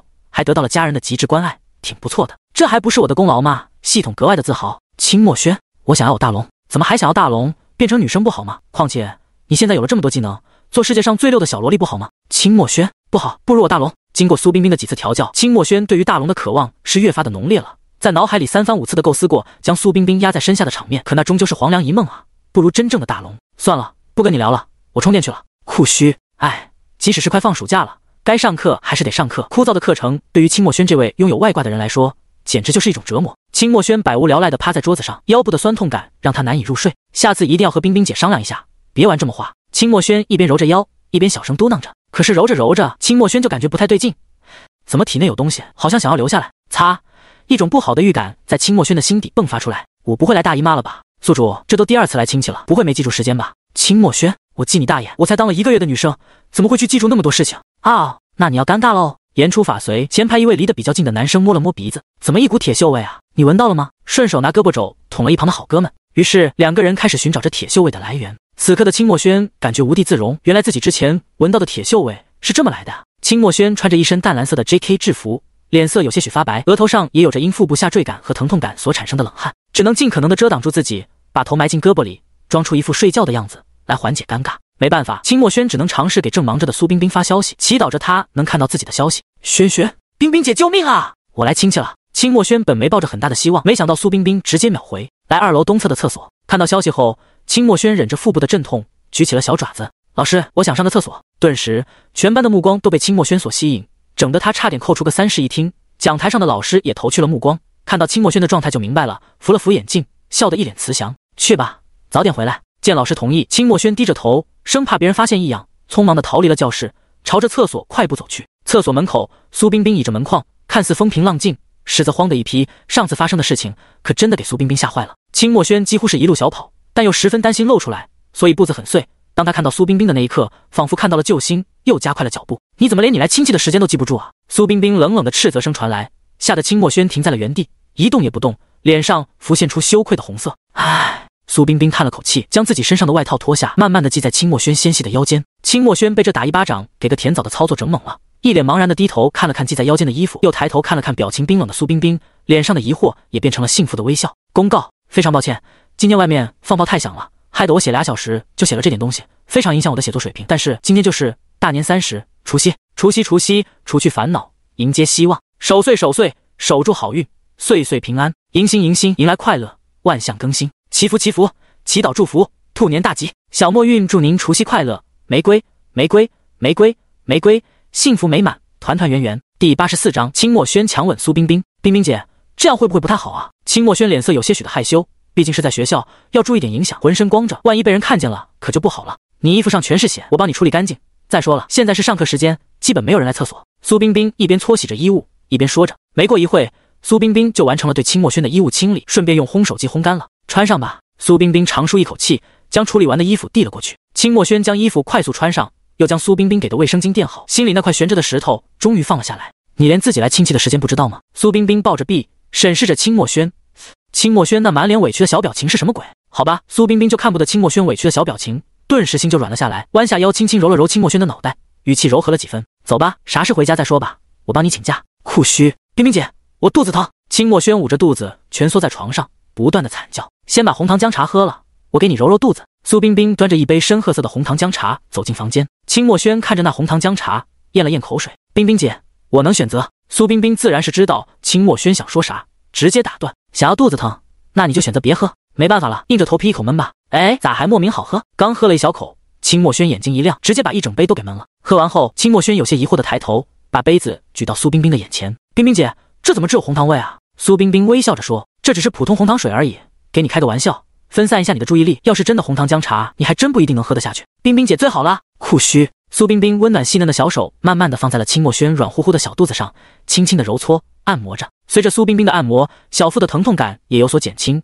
舒适且温暖的感觉传遍了清墨轩的全身，让他舒爽无比。我好舒服啊！苏冰冰满脸的宠溺，却用着嫌弃的语气道：“你是舒服了，我的胳膊都快酸死了。”清墨轩察觉到苏冰冰语气怪怪的，留了个心眼，谨慎开口：“那我帮你揉揉胳膊。”苏冰冰见清墨轩不上套，也不装了，直接摊牌，霸王硬上弓，将清墨轩牢牢控制住，嘴角挑起弧度，眼神极具魅惑。我想要什么，你应该知道吧？这猛的一个大动作，是清墨轩轩下意识的想挣扎，可是力量和身高的差距是他所不能逾越的。清墨轩只能小声说了一句：“冰冰姐，我还在生理期，过了这几天再说吧，好不好吗？”致命撒娇大法，哎，行吧，等你过了生理期，看我怎么玩你的。苏冰冰脸上没有了刚才充满兴趣的表情。就在她放松警惕的时候，清墨轩猛地扎在苏冰冰的怀里，顺着惯性将苏冰冰压在了身下。这回轮到清墨轩笑了：“冰冰姐，要不要试试妹妹的手段啊？”清墨轩奶乎乎的小脸上映射出那略显狰狞的笑容，莫名的违和。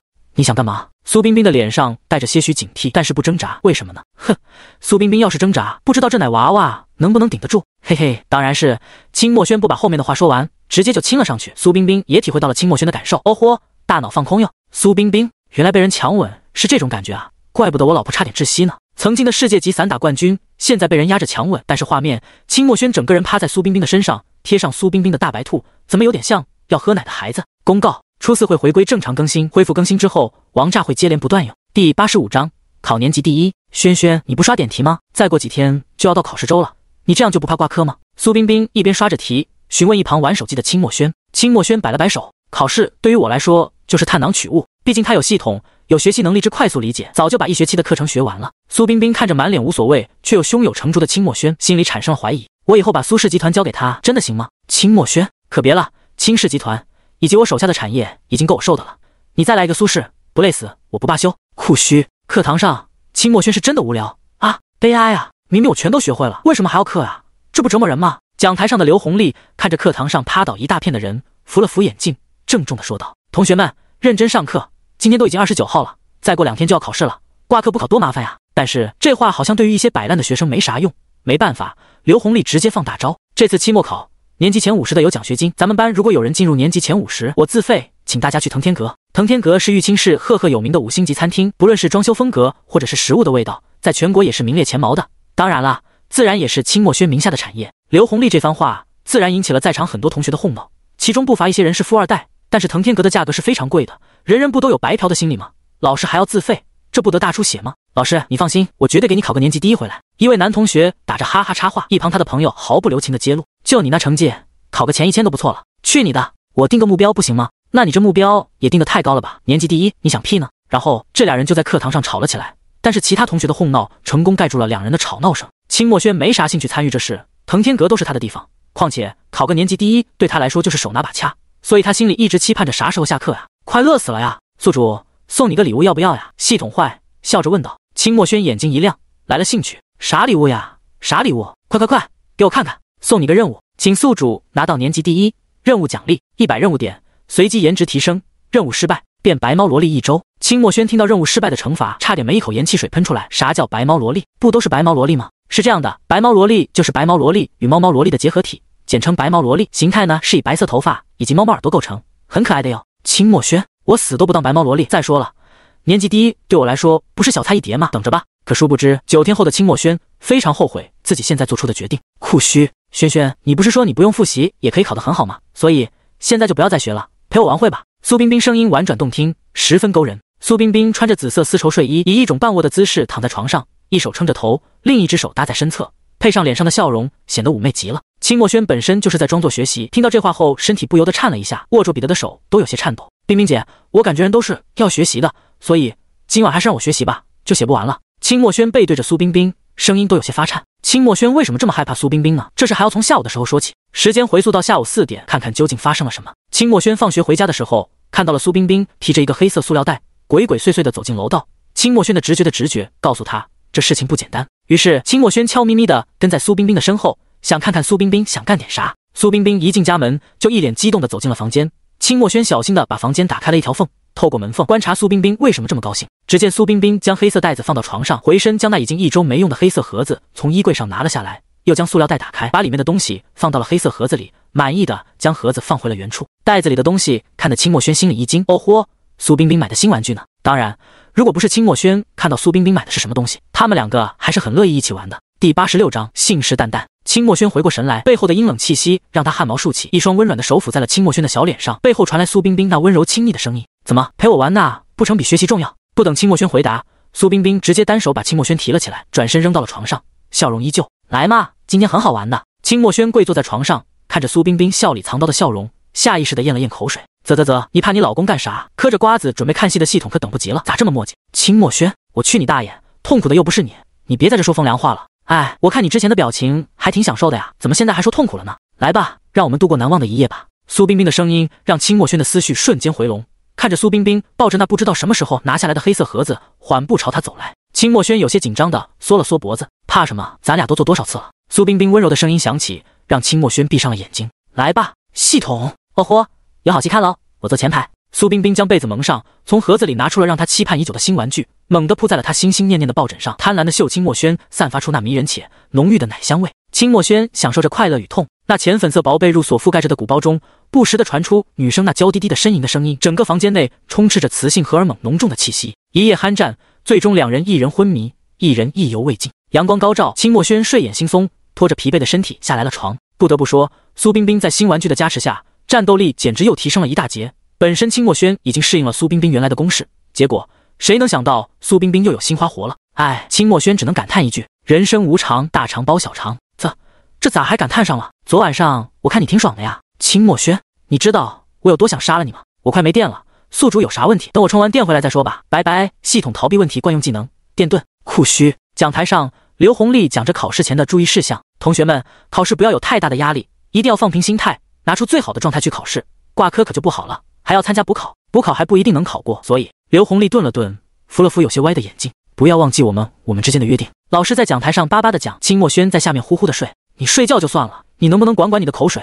都快掉地上了，形象没了。好吧，你本身就没形象。刘红丽嘱咐完后，扫视了教室一圈，一眼就锁定了在后排睡觉的清墨轩。他记得没错的话，这位亲家千金好像从转学以来，上课时就一直在睡觉。要不提醒一下？刘红丽清了清嗓子，嘿嘿，清墨轩同学，我刚刚说的你都记住了吗？被突然点名的清墨轩脑瓜子有点懵，啥呀？叫我干啥呀？刘红丽看着清墨轩一脸刚睡醒的茫然，无奈的扶额，又将刚刚说过的话又重复了一遍。老师，你别担心，这次的年级第一一定是我，所以你就等着被表扬吧。清墨轩摆了摆手，一脸的志在必得的样子。哼，就为了这么点小事叫醒他睡觉，这不耽误事吗？刘红丽一脸狐疑，一节课都没上过，还妄想拿年级第一。可是刘红丽转念一想，人家清墨轩是清家唯一的千金，上面还有两个这么优秀的哥哥，学和不学有啥区别呢？第八十七章期末考试。冰冰姐，你信不信我这次肯定是年级第一？清墨轩满脸都挂着自信的笑容。苏冰冰看着清墨轩这可爱的小模样。忍不住笑了笑，温柔的摸着清墨轩的头：“你就不怕没考到？我不怕。我这次要是考不到年级第一，我任凭你处置。啧啧啧，清墨轩对这次的考试是有多大的自信啊？这话都说得出口。苏冰冰脸上挂着笑容。那好，我也加个赌注，如果你考到你年级第一，我就把我借给你一天，做什么都行。清墨轩的眼睛瞬间亮了，真的没骗我，我什么时候骗过你啊？哈哈，那我这次赢定了，冰冰姐，你就等着接受我的羞辱吧！哈哈哈哈哈哈！清墨轩猖狂的大笑。离考试开始时间还有十五分钟，请各位考生尽快前往考试地点，有序进入考场，等待考试。清墨轩和苏冰冰来不及多说几句话，就被广播铃声打断了。清墨轩怀揣着系统任务和对老师的承诺，满脸自信地走进了考场。试卷发下来后，清墨轩白嫩的小手握着笔，游走在满是字体的的试卷上，动作行云流水，不到十分钟就写完了试卷的正面。可反过来后，清墨轩傻眼了，什么玩意啊？实践题，这对于一个只把书面理论吃透的清墨轩来说，无疑是致命的心理破防，气得他差点在考场上骂出来。往后看，嚯，微观经济学，清墨轩，这出题组是不是有那大病？出题之前能不能看看考试的群体啊？我们是大一上册，你给我们出下册的题。at 井号 at 人民币井号 w 百分号井号百分号，没办法，只能用最后的秘籍了。轩轩奥义之瞎蒙。就这样，清墨轩考完第一场后，整个人就开始迷迷糊糊，眼神空洞。啥？你问为啥现在还在干饭？知不知道啥叫吃货的肌肉记忆？人是铁，饭是钢，一顿不吃饿得慌。即使是考得不好，那也是要吃饭的。清墨轩脑子里想的全是和苏冰冰的赌约。哎，看来又是背完的一天啊。轩轩，选修也是要考试的，你知道自己选修报的是什么吗？苏冰冰看着无精打采的清墨轩，好心的提醒了一句。选修？清墨轩满脸的疑问。我都不知道我选修报的啥。清墨轩入学的时候就整了个随机选修课，现在一学期了，一回都没上过，甚至连报的啥都不知道。清墨轩掏出手机，我看看啊。这一看不要紧，好家伙！清墨轩满脸不可置信，下一秒直接嚎了出来：“哪个狗给我报的篮球？”噗！哈哈哈哈！苏冰冰听到清墨轩的选修是啥，直接爆笑：“轩轩，两个你有篮筐高吗？”哈哈哈！苏冰冰笑得上气不接下气，还在调侃清墨轩。清墨轩有些上头，直接呼叫外挂：“系统，把力量还给我，我要考试。”不行，系统声音极为慵懒，但是有技能你要不要？清墨轩听着苏冰冰的笑声，更生气了，一定要打冰冰姐的脸，想都没想直接答应了：“我要了。”扣除宿主二百任务点，获得技能球类，百发百中。系统后半句没说出来，友情提示：此技能初次系统商城装十三技能。有了技能，清墨轩顿时有了底气，捏紧了小拳头，可有骨气了。我这次选修一定能过。第八十八章选修考试。轩轩，今天考选修课，你准备好了吗？苏冰冰笑得很温柔，但是笑容内还有几丝得意。清墨轩听到苏冰冰的喊声，迷迷糊糊的从被窝里探出头来，应了一声，知道了。开始慢慢悠悠的起床，真慢啊，跟个十倍慢放似的。最终经过长达半小时的穿衣服，终于算是起床了。酷虚，各位同学，今天考试内容是定点投篮，每人十次投篮机会，六次及格，八次优秀，十次满分，请各位同学准备好，我会按照学号叫各位来进行考试。一位身穿短衬、黑色短裤的人站在一群学生面前讲话。清墨轩站在最前面，尴尬的差点抠出三室一厅。他穿着一件蓝色短袖、淡蓝色运动裤，配合上那傲人一等的身高，在人群中格外显眼。个屁，其他学生平均身高一米八以上。他一言难尽，基本没人能发现人群中还有这么个小萝卜丁。抠出秦墨轩，该你考试了。监考官喊到了名字，陌生的名字让一众人都有些不明所。这群人基本上都认识对方，唯独没听过秦墨轩这个名字，这让一群人面面相觑。这时，人群中走出一个蓝色娃娃，吸引了众人的目光。嗯，身高吸引人。秦墨轩抱着篮球站在篮筐前，显得格外渺小，真像是个洋娃娃。这不是那个主播吗？突然，人群中有人认出了秦墨轩，引起了人群的躁动。好像还真是他，怎么来考篮球了？怎么不能考篮球？人家想考啥就考啥，我不说不能考，就是这身高。说这话时，那男生脸上满是一言难尽。抱着篮球的清墨轩站在被人群包围却显得空旷的篮球场，有些凌乱，一时间还害羞了。清墨轩同学，快投篮！监考官的催促声让清墨轩回过神来。哦，好。清墨轩应了一声，抱着篮球做出了起手动作，全场瞬间静声，不少同学还举起了手机。清墨轩，系统，这技能是百发百中吧？为了以防万一，清墨轩在投篮之前还特意需要问一下系统。放心，我那系统哥保证，绝对是百发百中。听系统的保证，清墨轩也不再担忧，直接抬手就投。四，从来没见过这么投篮的，不对，那叫抛。抱着篮球的手直至举过头顶，向身后延展而去。白皙的小臂猛地发力，篮球在众人憋笑的表情中划出了一道优美的抛物线，精准的落入篮筐。众人看了看已经落在地上的篮球，又看了看清墨轩，动作整齐划一，脸上从震惊变成不可置信。清墨轩挑了挑眉，又举起一个篮球，以同样的动作抛进了篮筐。神意情由最开始的紧张，慢慢的放松了下来。可在场围观人就有点一言难尽了。人群之中，一位打了十年球的学生看着清墨轩用完全不标准的姿势投出了完全精准的准确率，震惊的合不拢嘴。运气，绝对是运气。很多人心里想的是不是这种念头？清墨轩嘴角带笑，继续着手上投篮的动作。第三个进了，第四个进了，整整十个球全部都进了。清墨轩松了口气，看来年级第一还是有希望的。第八十九章放暑假。清墨轩和苏冰冰并排走在回家的路上，清墨轩伸了个大大的懒腰，呼，终于考完了。经历了七天考试周的紧张时刻，终于算是解放了。还好后面的科目没遇到油饼的出题组，看来这次年级第一很有希望。清墨轩暗自想着，顺便想了想怎么玩苏冰冰。酷虚，冰冰姐什么时候出成绩啊？清墨轩看着电脑上空空如也的成绩库，显得有些茫然。苏冰冰过来后，看到电脑显示屏的一瞬间就明白了，用手指敲了一下清墨轩的头。你以为阅卷老师是火箭吗？刚考完就能出成绩？清墨轩揉了揉被敲的头，一脸无辜的看着苏冰冰。我第一次参加大学的期末考试，不知道吗？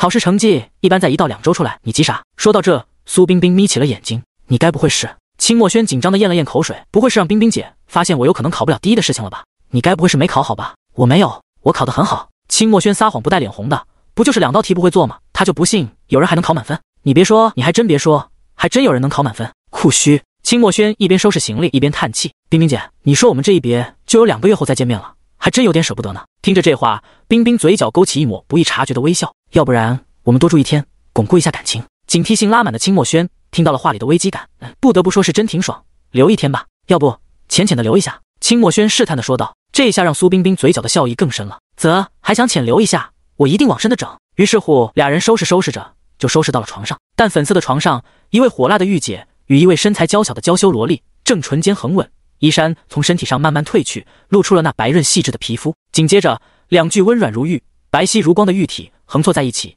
情爱缠绵，娇声起伏，皮肤之间的摩擦声在这静默的房间中显得尤为清晰。系统，啧啧啧，这白天的影响不好，你俩窗帘都没拉上，算了，我还是先看为敬。等于等于，所幸两人并没有玩多久，毕竟是下午。两人晚上吃过晚饭之后，十点多的时候便已睡去。酷虚，第二天上午，冰冰姐。我舍不得你，呜呜！两人收拾完行李，站在小区门口进行着最后的道别。行了，别肉麻了，你看你哭的的，光打雷不下雨。苏冰冰一脸嫌弃的看着清墨轩的表演，眼看被识破，清墨轩也收起了那假哭的表情，满脸委屈。我是真的舍不得离开你吗？一这下，苏冰冰更嫌弃了，只是放个暑假，怎么搞得跟生离死别似的？两人交谈中，两辆黑色商务劳斯停在了小区门前，两车上同时走下来一人，身着昂贵黑色西服，身姿挺拔，面庞帅气的男生。啧，越看越像个霸道总裁。清墨云一开口，瞬间破大方了。老妹儿啊，哥想死你了，来让哥抱抱。直接飙出来一句东北方言。嗨嗨，这沙雕的气息，整得清墨轩无地自容，对着清墨云咬牙切齿。二哥，在外边能不能表现的正常一点？是不是想让全天下人都知道你的沙雕啊？清墨云顿时委屈的不得了，抱着自家大哥开始撒娇。大哥，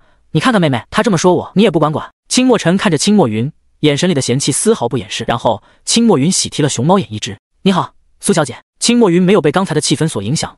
在注意到苏冰冰的时候，就礼貌的打了声招呼。苏冰冰回了一个礼貌的微笑。这以后是大舅哥，不礼貌一点怎么行呢？对了，冰冰姐，要不要去我家住两天？清墨轩眼神里的期待丝毫不加掩饰。苏冰冰温柔的笑了笑，摸了摸清墨轩的小脑袋。这几天我要回家处理点事，过几天再去找你吧。这句话让清墨轩眼睛里的光有些暗淡。那好吧，那我在家等着你吧，你一定要来哦。第九十章 MMA。清墨轩回家之后就陷入了摆烂时刻，左手抱着可乐，右手抱着薯片。往沙发上一瘫，悠哉悠哉的刷剧。哟吼！我记得某人曾经不止一次的说过，放了暑假要练武功，打败苏冰冰的。现在怎么这么悠哉了？系统直接跳出来调侃这句话，让清墨轩差点跳起来，一副恍然大明白的感觉。好像也对哦，练功夫以后我要当功。一个小萝莉压着一个比她身高高三十厘米的超级冰山大美人，这画面想想就刺激啊！想到这，清墨轩直接开启了召唤术。老爹，哼，异想天开，清老爷子是多大的盲人啊？怎么可能？来了来了，喊我干啥？青玉堂一边穿鞋。一边往客厅走，爸爸，我想练功夫。清墨轩眨巴着水灵灵的大眼睛，征求着自己老爹的同意。清玉堂被这突如其来的撒娇整得猝不及防，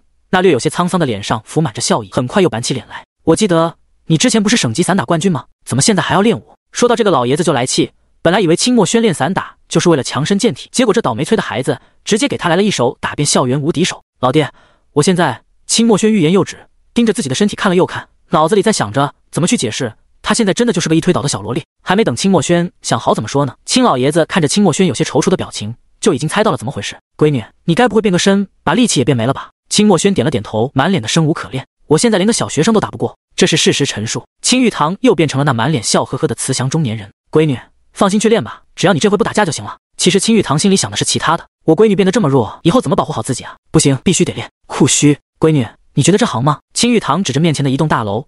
满脸笑意的询问被他牵着手的清墨轩。清墨轩看着眼前高耸入云的大楼，嘴角抽了抽，不是因为楼有多高，而是楼上面挂着一个特大的 logo，上面写着 MMA。老爹，你是想让我死吗？清墨轩给了自己家老爹一个刀眼。清老爷子表现的特无辜，我这不是想给你一个最好的环境吗？这地方就挺不错的。不错个屁！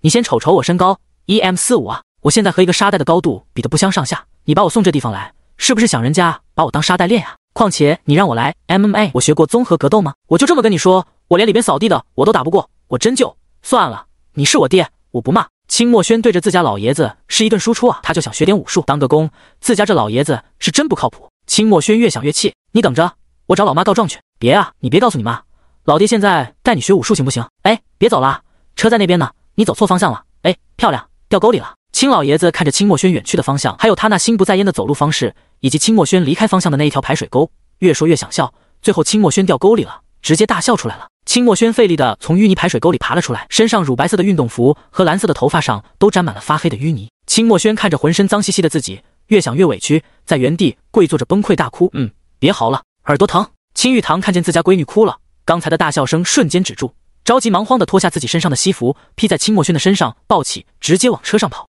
半小时后，闺女啊，爹错了，能别哭了不？青玉堂的耳朵实在受不了自家闺女的哭声了，听着那哭声，总感觉自己在养一个婴儿。清墨轩哭了半小时，也感觉哭够了，又小声的抽了一会，老爷子这才放心的吩咐司机开车回家的路上，还不停的嘱咐闺女，爹再给你点股份，回家别跟你妈说呗。清墨轩失落的低着头没回话，老爷子以为他答应了。可没成想，这奶娃娃回到家后直接开吼：“妈，我爸欺负我，他要把我送 MMA 里边给人当沙袋。”白婷一听到这话，脸色瞬间黑如锅底，额头上可以看出有青筋凸起，手里不知道从哪掏出来个平底锅。秦玉堂，你要是敢把我闺女送去当沙袋，我今天就是能让你变成炸锅饼。老婆，哎哎，别别，你听我解释，我啊，老婆，你先听我解释啊。秦玉堂一边惨叫着，一边往后退，用身体承受平底锅正面的伤害，是真疼啊。第九十一章，单身狗清墨云。清墨轩看了一会，老妈揍老爷子，感觉好无聊啊。算了，找二哥。清墨轩的主要目的是因为清墨云自带的沙雕属性，可以驱散他一整天的不开心。酷虚。清墨轩来到飞云集团后，一路畅通，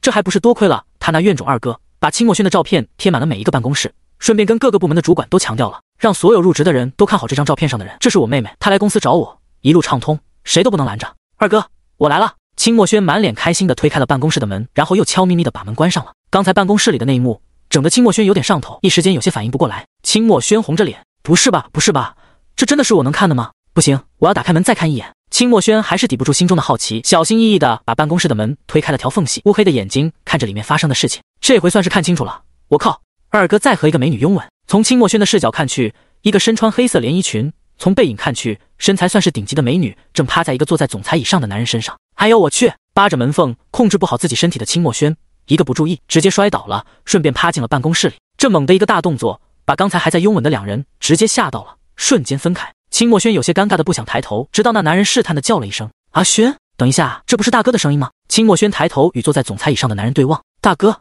你怎么在二哥办公室里？没什么，找你二哥撒撒狗粮，分享分享我和你嫂子的恋爱历程。”一边说着，清墨尘嘴角含笑，眼神不时的瞥向一旁的顾青青：“你俩真狗啊！如果没漏掉什么的话，全家现在就清墨云一个单身狗。对了。”轩轩，你来是有什么事吗？清墨尘及时岔开话题，他发现一旁的顾青青已经开始有些脸红，可能是拥吻被人发现，有些害羞吧。一说到为啥来找二哥，清墨轩就有些生气，不都怪老爷子吗？我跟他说要习武，他要给我送 MMA 里去。啥？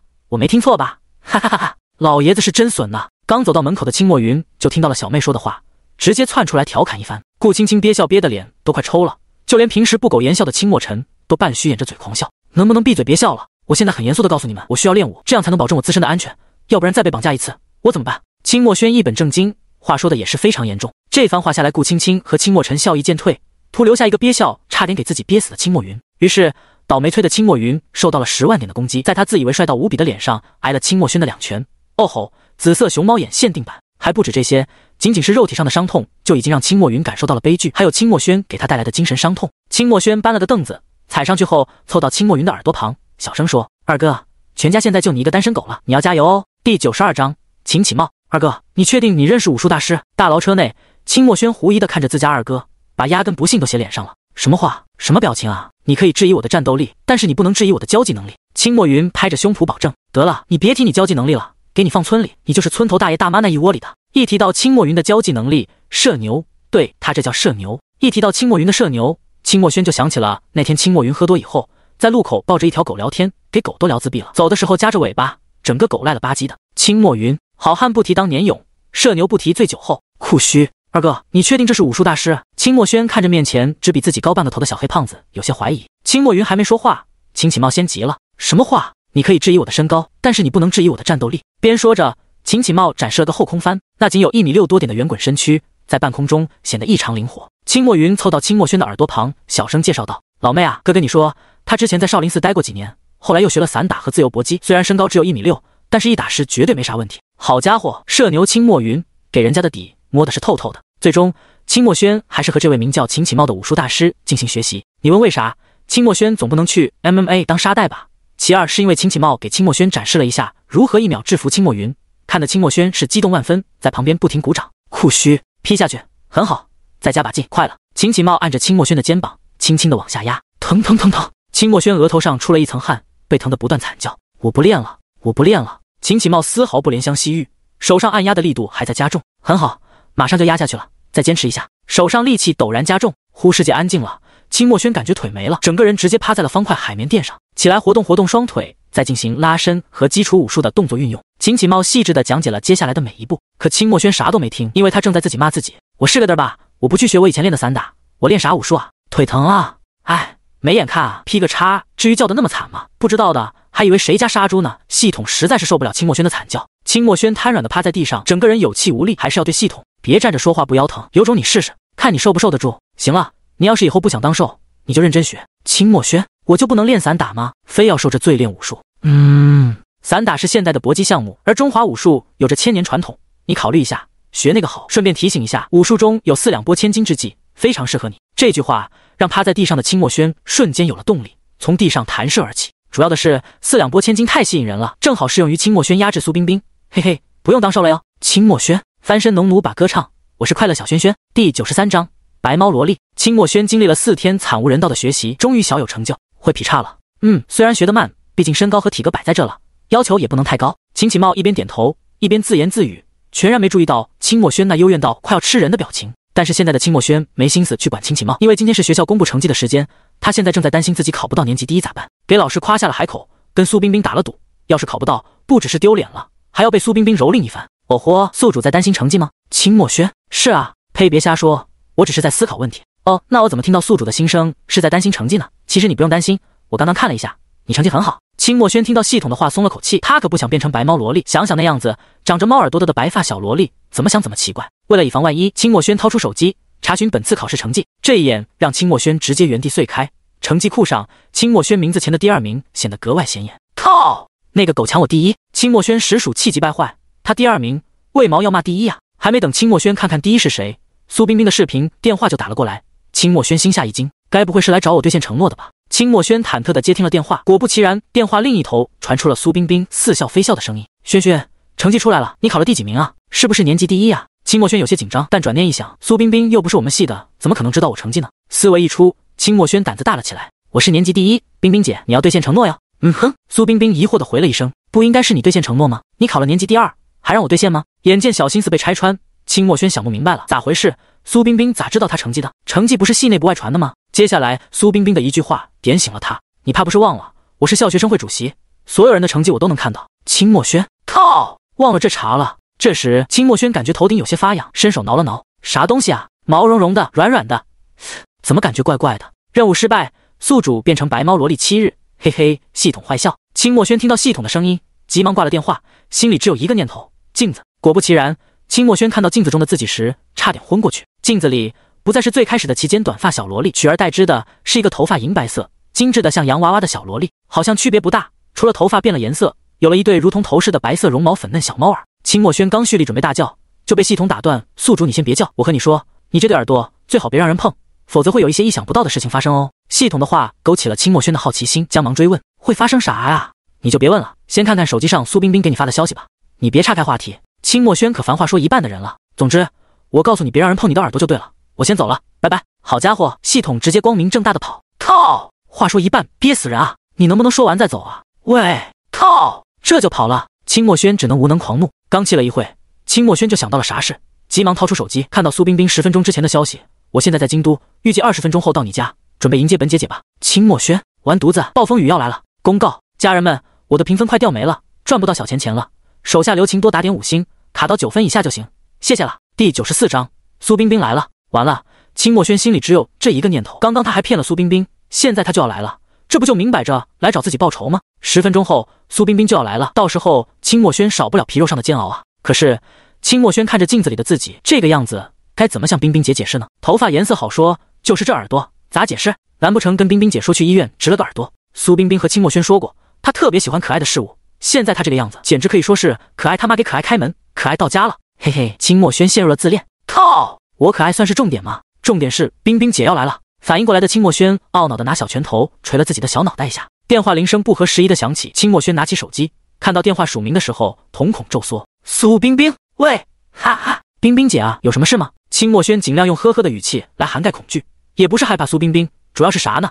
苏冰冰的道具太猛了。清墨轩。我记得没错的话，黑盒子好像还在玉清室吧？靠，那我怕他干哈？想到这，青墨轩不自觉地挺起来腰杆。好歹他练了好几天的武术了，就不信苏冰冰还能随便压制他。苏冰冰洋溢着开心的声音从电话另一头传了过来：“我马上到南山别墅群一号楼了，你不出来迎接我一下吗？”啊，你来怎么也不跟我说一声，我好提前准备一下去迎接你啊！现在我连头都没洗，没脸见人。青墨轩表现得很惋惜的样子，其实还是头上的耳朵太显眼了，有时让苏冰冰看到，那不得玩死自己啊！啧啧啧，这回咋还讲究上了？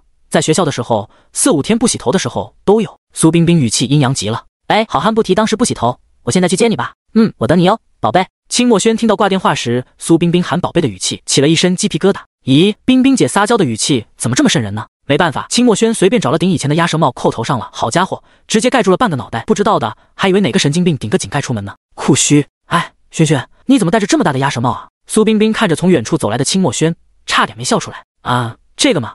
清墨轩支支吾吾了半天，也没说出个所以然来，反而更加让苏冰冰好奇了，上手直接把清墨轩的帽子拿掉了。清墨轩头顶一凉，暗道不好，急忙拿手去遮盖头上的毛绒耳朵。可是随着他的触碰，感觉身上好像越发绵软，这感觉怎么这么像是啥？我就先不说了。苏冰冰看到清墨轩的白色头发，眼睛瞬间就亮了，眼底是止不住的激动与兴奋。哇，轩轩，你染的银白色头发真可爱啊！嘿嘿，好看好看。清墨轩尴尬的附和着，拼命的拿手遮挡着头顶的粉嫩小耳朵。冰冰姐。你把帽子还给我吧，我爸妈不让我染头发，我背着他们染的，没办法了。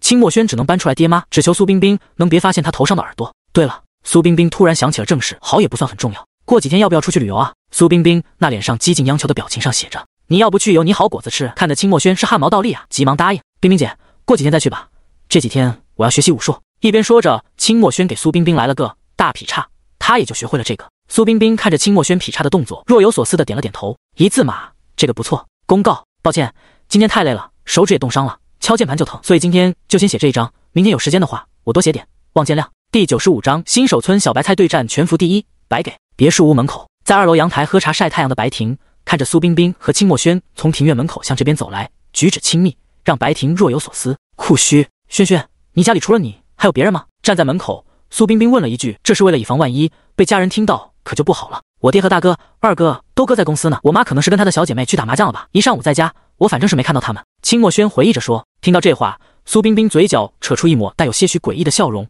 鬼魅中带着魅惑的表情，看得清墨轩心下一惊。苏冰冰凑到清墨轩耳边，低声道：“轩轩，你这次没考到第一，是不是该履行一下考试前给我的承诺啊？”清墨轩听苏冰冰说的话，感受到苏冰冰在耳边吹出的热气，脸色唰的一下就红了。要开始了吗？要开始了吗？并没有。就在苏冰冰想进行下一步动作的时候，白婷笑意盈盈的打开了门。苏冰冰瞬间抽身后退一步，脸上还挂上了白婷同款微笑。苏冰冰一套行云流水的操作，看得清墨轩满脸震惊。你恢复这么快，他脸红咋办啊？白婷装出一副惊讶的表情。呀，这不是小冰冰吗？你怎么来了？秦阿姨好，我是来找轩轩的。苏冰冰很礼貌，毕竟是未来丈母娘，当然得尊敬点了。哦，那你们快进去吧。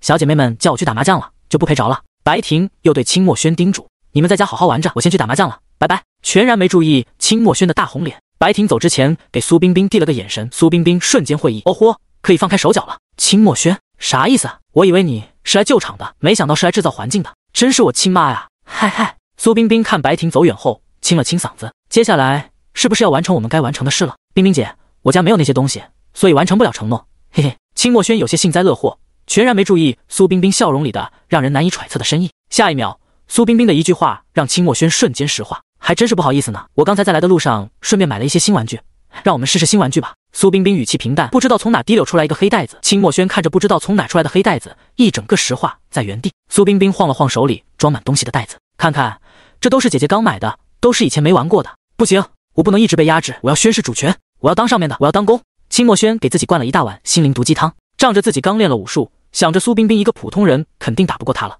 挑了挑眉，挑衅道：“冰冰姐，恕我难从命，我要毁约。”听到这话，苏冰冰脸上的笑容不减反增。哟，我没听错吧？你刚刚说你要毁约？看来我还需要教你怎么做女朋友啊！苏冰冰笑得越发阴郁，但清墨轩不怂。来，今天我就让你认清楚谁是男朋友，谁是公。两秒钟后，哎，冰冰姐，我错了，你能先撒开我的腿不？清墨轩被苏冰冰提着腿，整个人倒吊在半空中。苏冰冰阴阳道：“刚才不是还勇气十足，口口声声说着毁约吗？怎么这一会泄气了呢？”清墨轩都快哭出来了。冰冰姐，我错了，你放过我吧，刚才是我说胡话呢。冰冰姐别闹，现在还没进屋呢，别扒了，快扒干净了，回房间行不行？苏冰冰就这么单手提着清墨轩走进客厅，另一只手也没闲着。像是包香蕉皮一样，将清墨轩身上的衣物慢慢剥离，露出了里面雪白的肌肤。清墨轩脸色通红，不知道是因为害羞，还是倒吊着脑部充血的原因。反正，哎呀，别说了，挺羞耻的。系统扶额，哎，这傻呆，新手村小白菜单挑全服第一，这不白给吗？看来又有好戏看了。Omega 第九十六章，耳朵被发现。清墨轩被苏冰冰扒了个干净，扔在沙发上。但是清墨轩牢牢地护着头上的帽子。苏冰冰转身捡着刚才散落一地的衣服，冰冰姐。至于吗？多大仇多大怨呐！单手提溜着都得给我扒了。清墨轩拿了个抱枕放在自己身前，随口吐了句东北话。这句话让捡衣服的苏冰冰直接转身扑在了清墨轩的身上，笑着说：“我都忍了好几天了，就等着成绩出来，好好的和你玩玩。那那咱们能回房间吗？在这不太好吧？”看着苏冰冰那张近在咫尺的绝美容颜，清墨轩说话都不利索了。苏冰冰笑着说：“行，多依你，带路吧，让我看看你的房间。”突然，清墨轩猛地抬起头，想到了他那满墙的妈剑打手办。要是冰冰姐看到那些手办会怎么样啊？会不会觉得他是个？可是不去房间，在客厅，家里人回来可就都看到了。这又让清墨轩陷入了焦灼。清墨轩，算了，还是去房间吧。不就是一堆手办吗？编个理由糊弄过去就行。酷虚，W A T E。清墨轩看着空空的架子有些懵，他那上百个手办呢？靠，这是他耗费了大量的时间和金钱才置办的全套，怎么没了？嗯，现在你该担心的好像不是这个是吧？苏冰冰将手里的黑色袋子扔在了床上，细细打量起清墨轩房间的装扮。轩轩。怎么那边的房间那么粉，这边咋显得这么朴素呢？房间里有个空架子，请忽略一七个衣柜，里面装满了来自哥哥们和父母的爱。二哥和老爷子那不叫爱，那叫辣眼。苏冰冰没有继续打量房间，自顾自地将黑袋子里边的东西挨个摆放出来。一旁的清墨轩还在思考着自己手办去哪了，全然没注意到苏冰冰的动作。直到苏冰冰在背后偷袭清墨轩，吓得他差点叫出来。嗯哼，在这发什么愣呢？我东西都准备好了，就等你了。苏冰冰一脸坏笑，直接让清墨轩回头去看床上。清墨轩瞳孔骤缩，手指有些颤抖的指着床上。冰冰姐，你……清墨轩结巴了半天，也没说出来一句完整的话。怎么了？不满意吗？还是说不够呀？苏冰冰面带邪笑，等着清墨轩下一步的回答。清墨轩咽了咽口水，可别了，已经够多的了。画面一转，呜呜，被迫换转场音效。清墨轩感受着舒服的感觉，帽子不知何时已经掉落在地上了。苏冰冰抬头之际，正好看到了清墨轩头顶上那对毛茸茸的小耳朵，忍不调笑道。轩轩，你头上戴的帽耳装饰品挺好看的呀，哪买的？这么仿真？边说着，苏冰冰上手摸了摸，这一下，清墨轩感觉到了浑身如某种东西划过身体，让他瞬间感觉浑身无力。别怪我，我也想多些，可是某人不让啊！哇，好软啊！轩轩，你这装饰品耳朵手感真的好棒啊！毛茸茸的手感引得苏冰冰不由得多揉了几下。嚯，这边清墨轩可遭老罪了。相反，随着苏冰冰触摸清墨轩那对粉嫩的耳朵，清墨轩的身体越发的无力。哦豁。宿主，你还是没能护住你的耳朵啊！现在告诉你吧，你的耳朵很敏感，系统适当的来插话了。清墨轩，你个狗，你不早告诉我！靠！嗯，我本来是想让你有个神秘感，从而对自己的耳朵更加保护，没想到这么快就能被人发现。哎，轩轩，我还没动手呢，你怎么就这样了？苏冰冰停止了摸耳朵的举动，看向清墨轩软趴在床上的样子，心底有些疑惑。苏冰冰，我还没动手呢，咋就成这样了？算了，不管了，先展开我的行动吧。第九十七章，二哥受到背刺。其实清墨轩练武术还是有用的。你看看这一字马多方便呀！哼，要不是清墨轩受了某种外界因素的影响导致，要不然高低得给你整两句。鹅黄色床单上，一对大白兔正死死地压在一对小白兔的上面，白嫩肌肤相互摩擦触碰，攻受明确。清墨轩任由苏冰冰随意摆布，却也不动一分，只是不时地发出一声闷哼或是娇喘声。苏冰冰的指尖轻轻划过清墨轩嫩可以掐出水的皮肤，不禁感叹：哇，这皮肤我真的爱了。可话锋一转，苏冰冰嘿嘿笑着。你都是我的，我还羡慕这皮肤干什么呀？清墨轩娇羞的别过脸去，用鼻子哼了一声，心里想着，看来还是不够，都打不过苏冰冰，我还得继续学，争取可以压倒他。苏冰冰将刚买所有东西用了个遍，才肯作罢。苏冰冰起身将衣服穿好，咂巴了一下嘴，似乎还有一些意犹未尽。毕竟，毕竟清墨轩身上的奶香味真香啊！酷虚。清墨轩满脸愁容，抱着腿蜷缩在沙发上，非常不理解系统为什么会给耳朵加上这样的设定。清墨轩，狗系统，你给我出来！啥子事哦？清墨轩，你给我解释一下，为什么冰冰姐碰耳朵我会有那样的感觉？这个呀，你问我没用，你得问总部去。我就是个打工仔。清墨轩，总部总部又是总部，靠，你总部在哪儿？我给他拆了去。要不要这么暴力啊？你现在是个可爱小萝莉，斯文点。况且这么好看的耳朵，增加点额外的属性怎么了？清墨轩，你清高，你了不起，给你，你要不要？拜拜了您嘞，我先充电去了。嗨嗨嗨，电盾。没办法，清墨轩撅着小嘴，独自生闷气，时不时骂两句系统。轩轩，明天要不要和我去旅游啊？苏冰冰抱着手机，看到上面精美的画面，要不要去看这个打铁花啊？清墨轩不屑，打铁花有啥好看的？不就是……话还没说完，清墨轩就被手机上那炫彩的画面吸引住了，直接改口，明天就去。阿轩，去哪呀？带二哥一个呗。清墨云吊儿郎当的声音从别墅门外传来，随后就看到一个西装上满是杂草碎屑，头上还插着几根野草的清墨云。哈哈，二哥，你是去野战了吗？哈哈，清墨轩拍着沙发笑得停不下来。听到这话，清墨云上的笑容瞬间变成了不耐烦。去去去，你一个小姑娘家家的，说什么污言秽语呢？还有啊，在屋里你戴什么帽子呀？我就是刚在草坪那摔了一跤。这下清墨轩没有理会后半句，只是笑得更大声了。哈哈，不愧是你啊，二哥，平地摔真不错呀。哈哈。苏冰冰在旁边正襟端坐，微笑着的看着面前兄妹两人的互动，毕竟是二舅哥，还是要礼貌些。嗨嗨，清墨云咳嗽了一声，稳定了一下这爆笑的场面。对了，轩轩，你刚刚说你要去哪啊？清墨轩好几个深呼吸后才稳定下来想笑的情绪。我们想去看打铁花，不带你。清墨云被被刺了，感觉自己心口老疼了。他捂着心口，满脸委屈的冲着清墨轩：“老妹啊，你就这么对哥呀？就这么一口决绝的否定我呗？对我和冰冰姐一块去，你去干啥？当背景板。”一边说着。清墨轩从沙发爬到苏冰冰的旁边，直接坐到了她的腿上。苏冰冰也没阻拦，就是这帽子有点碍事。清墨轩坐在苏冰冰腿上，这场面怎么莫名的像母亲带孩子？清墨轩本来想说电灯泡的，想了想还是算了吧，毕竟全家就二哥一个单身了。哎，悲催啊！清墨云，你大可不必如此委婉，你直说的话我还没那么难受。我要是自己去理解，那我得难受死。系统，哦吼，某只悲惨的单身狗又受到背刺了哟。看戏真开心。公告，抱歉，今天下课太晚，让大家久等了。第九十八章。岳飞庙抽情会，冰冰姐，我都计划好了，总计大约十五天，全程自驾游。清墨轩喜滋滋的向苏冰冰汇报自己的计划。苏冰冰满脸宠溺的看着一脸开心的清墨轩，行，都依你。好，那我准备一下，明天我们开着房车去自驾游。清墨轩已经可以想到，两人悠哉的开着房车，看着华国的大好山水，多惬意啊！可是苏冰冰一张口就让清墨轩差点石化。轩轩，你有驾照吗？呃，你有驾照好像也没啥用，毕竟后半句身高不够，没说出来。因为清墨轩气的脸色黑如锅底，怎么一个个的都爱拿他身高说事？这种情况下，清墨轩还是要反对。我有驾照，我还能开赛车。嗯，房车的驾驶位置比一般的车都要高，你确定你身高够？苏冰冰这句话直接让清墨轩泄气。看着清墨轩垂头丧气的样子，苏冰冰急忙安慰：“没事，明天我带个冤种给咱俩开车，在房车后面加一拖挂车就行，让那老冤种在后边拖挂车里睡就行。”清墨轩，酷虚。第二天早上，冰冰姐，房车就位，行李就位，拖挂车就位，一切准备就绪，坐等出发。清墨轩尽量装的一脸严肃，但是配上那一身粉白色 J.K. 裙，显得过于可爱了。嗨嗨，苏冰冰看着清墨轩可爱的小模样，用咳嗽去压制自己想上前抱起来亲亲的情绪，然后转身把后边一脸生无可恋的苏雨提溜起来。我这的冤种也就位了。苏雨，冰冰姐，你口中的冤种是他？清墨轩还记得上次学校门口蜡烛围心、玫瑰求爱的场面，这孩子是个弯的。没事，他就是给咱们开车的。是不是啊，我的小堂弟？苏冰冰说话时嘴角含笑，但是那笑容却越发的阴森。苏雨尴尬的陪着笑，是是，我就是个背景板。姐，轩轩姐，你俩把我当空气就行。嘿嘿，走吧，别墨迹了，出发吧。酷虚，姐，咱们房车两侧怎么全是劳斯莱斯啊？苏雨开着车，看着后视镜里边跟了两排豪车，开口询问坐在车厢里的两人。苏冰冰和清墨轩两人往外一瞧，哈，这车牌越看越眼熟。我靠，清墨云。这时，清墨轩的手机铃声响。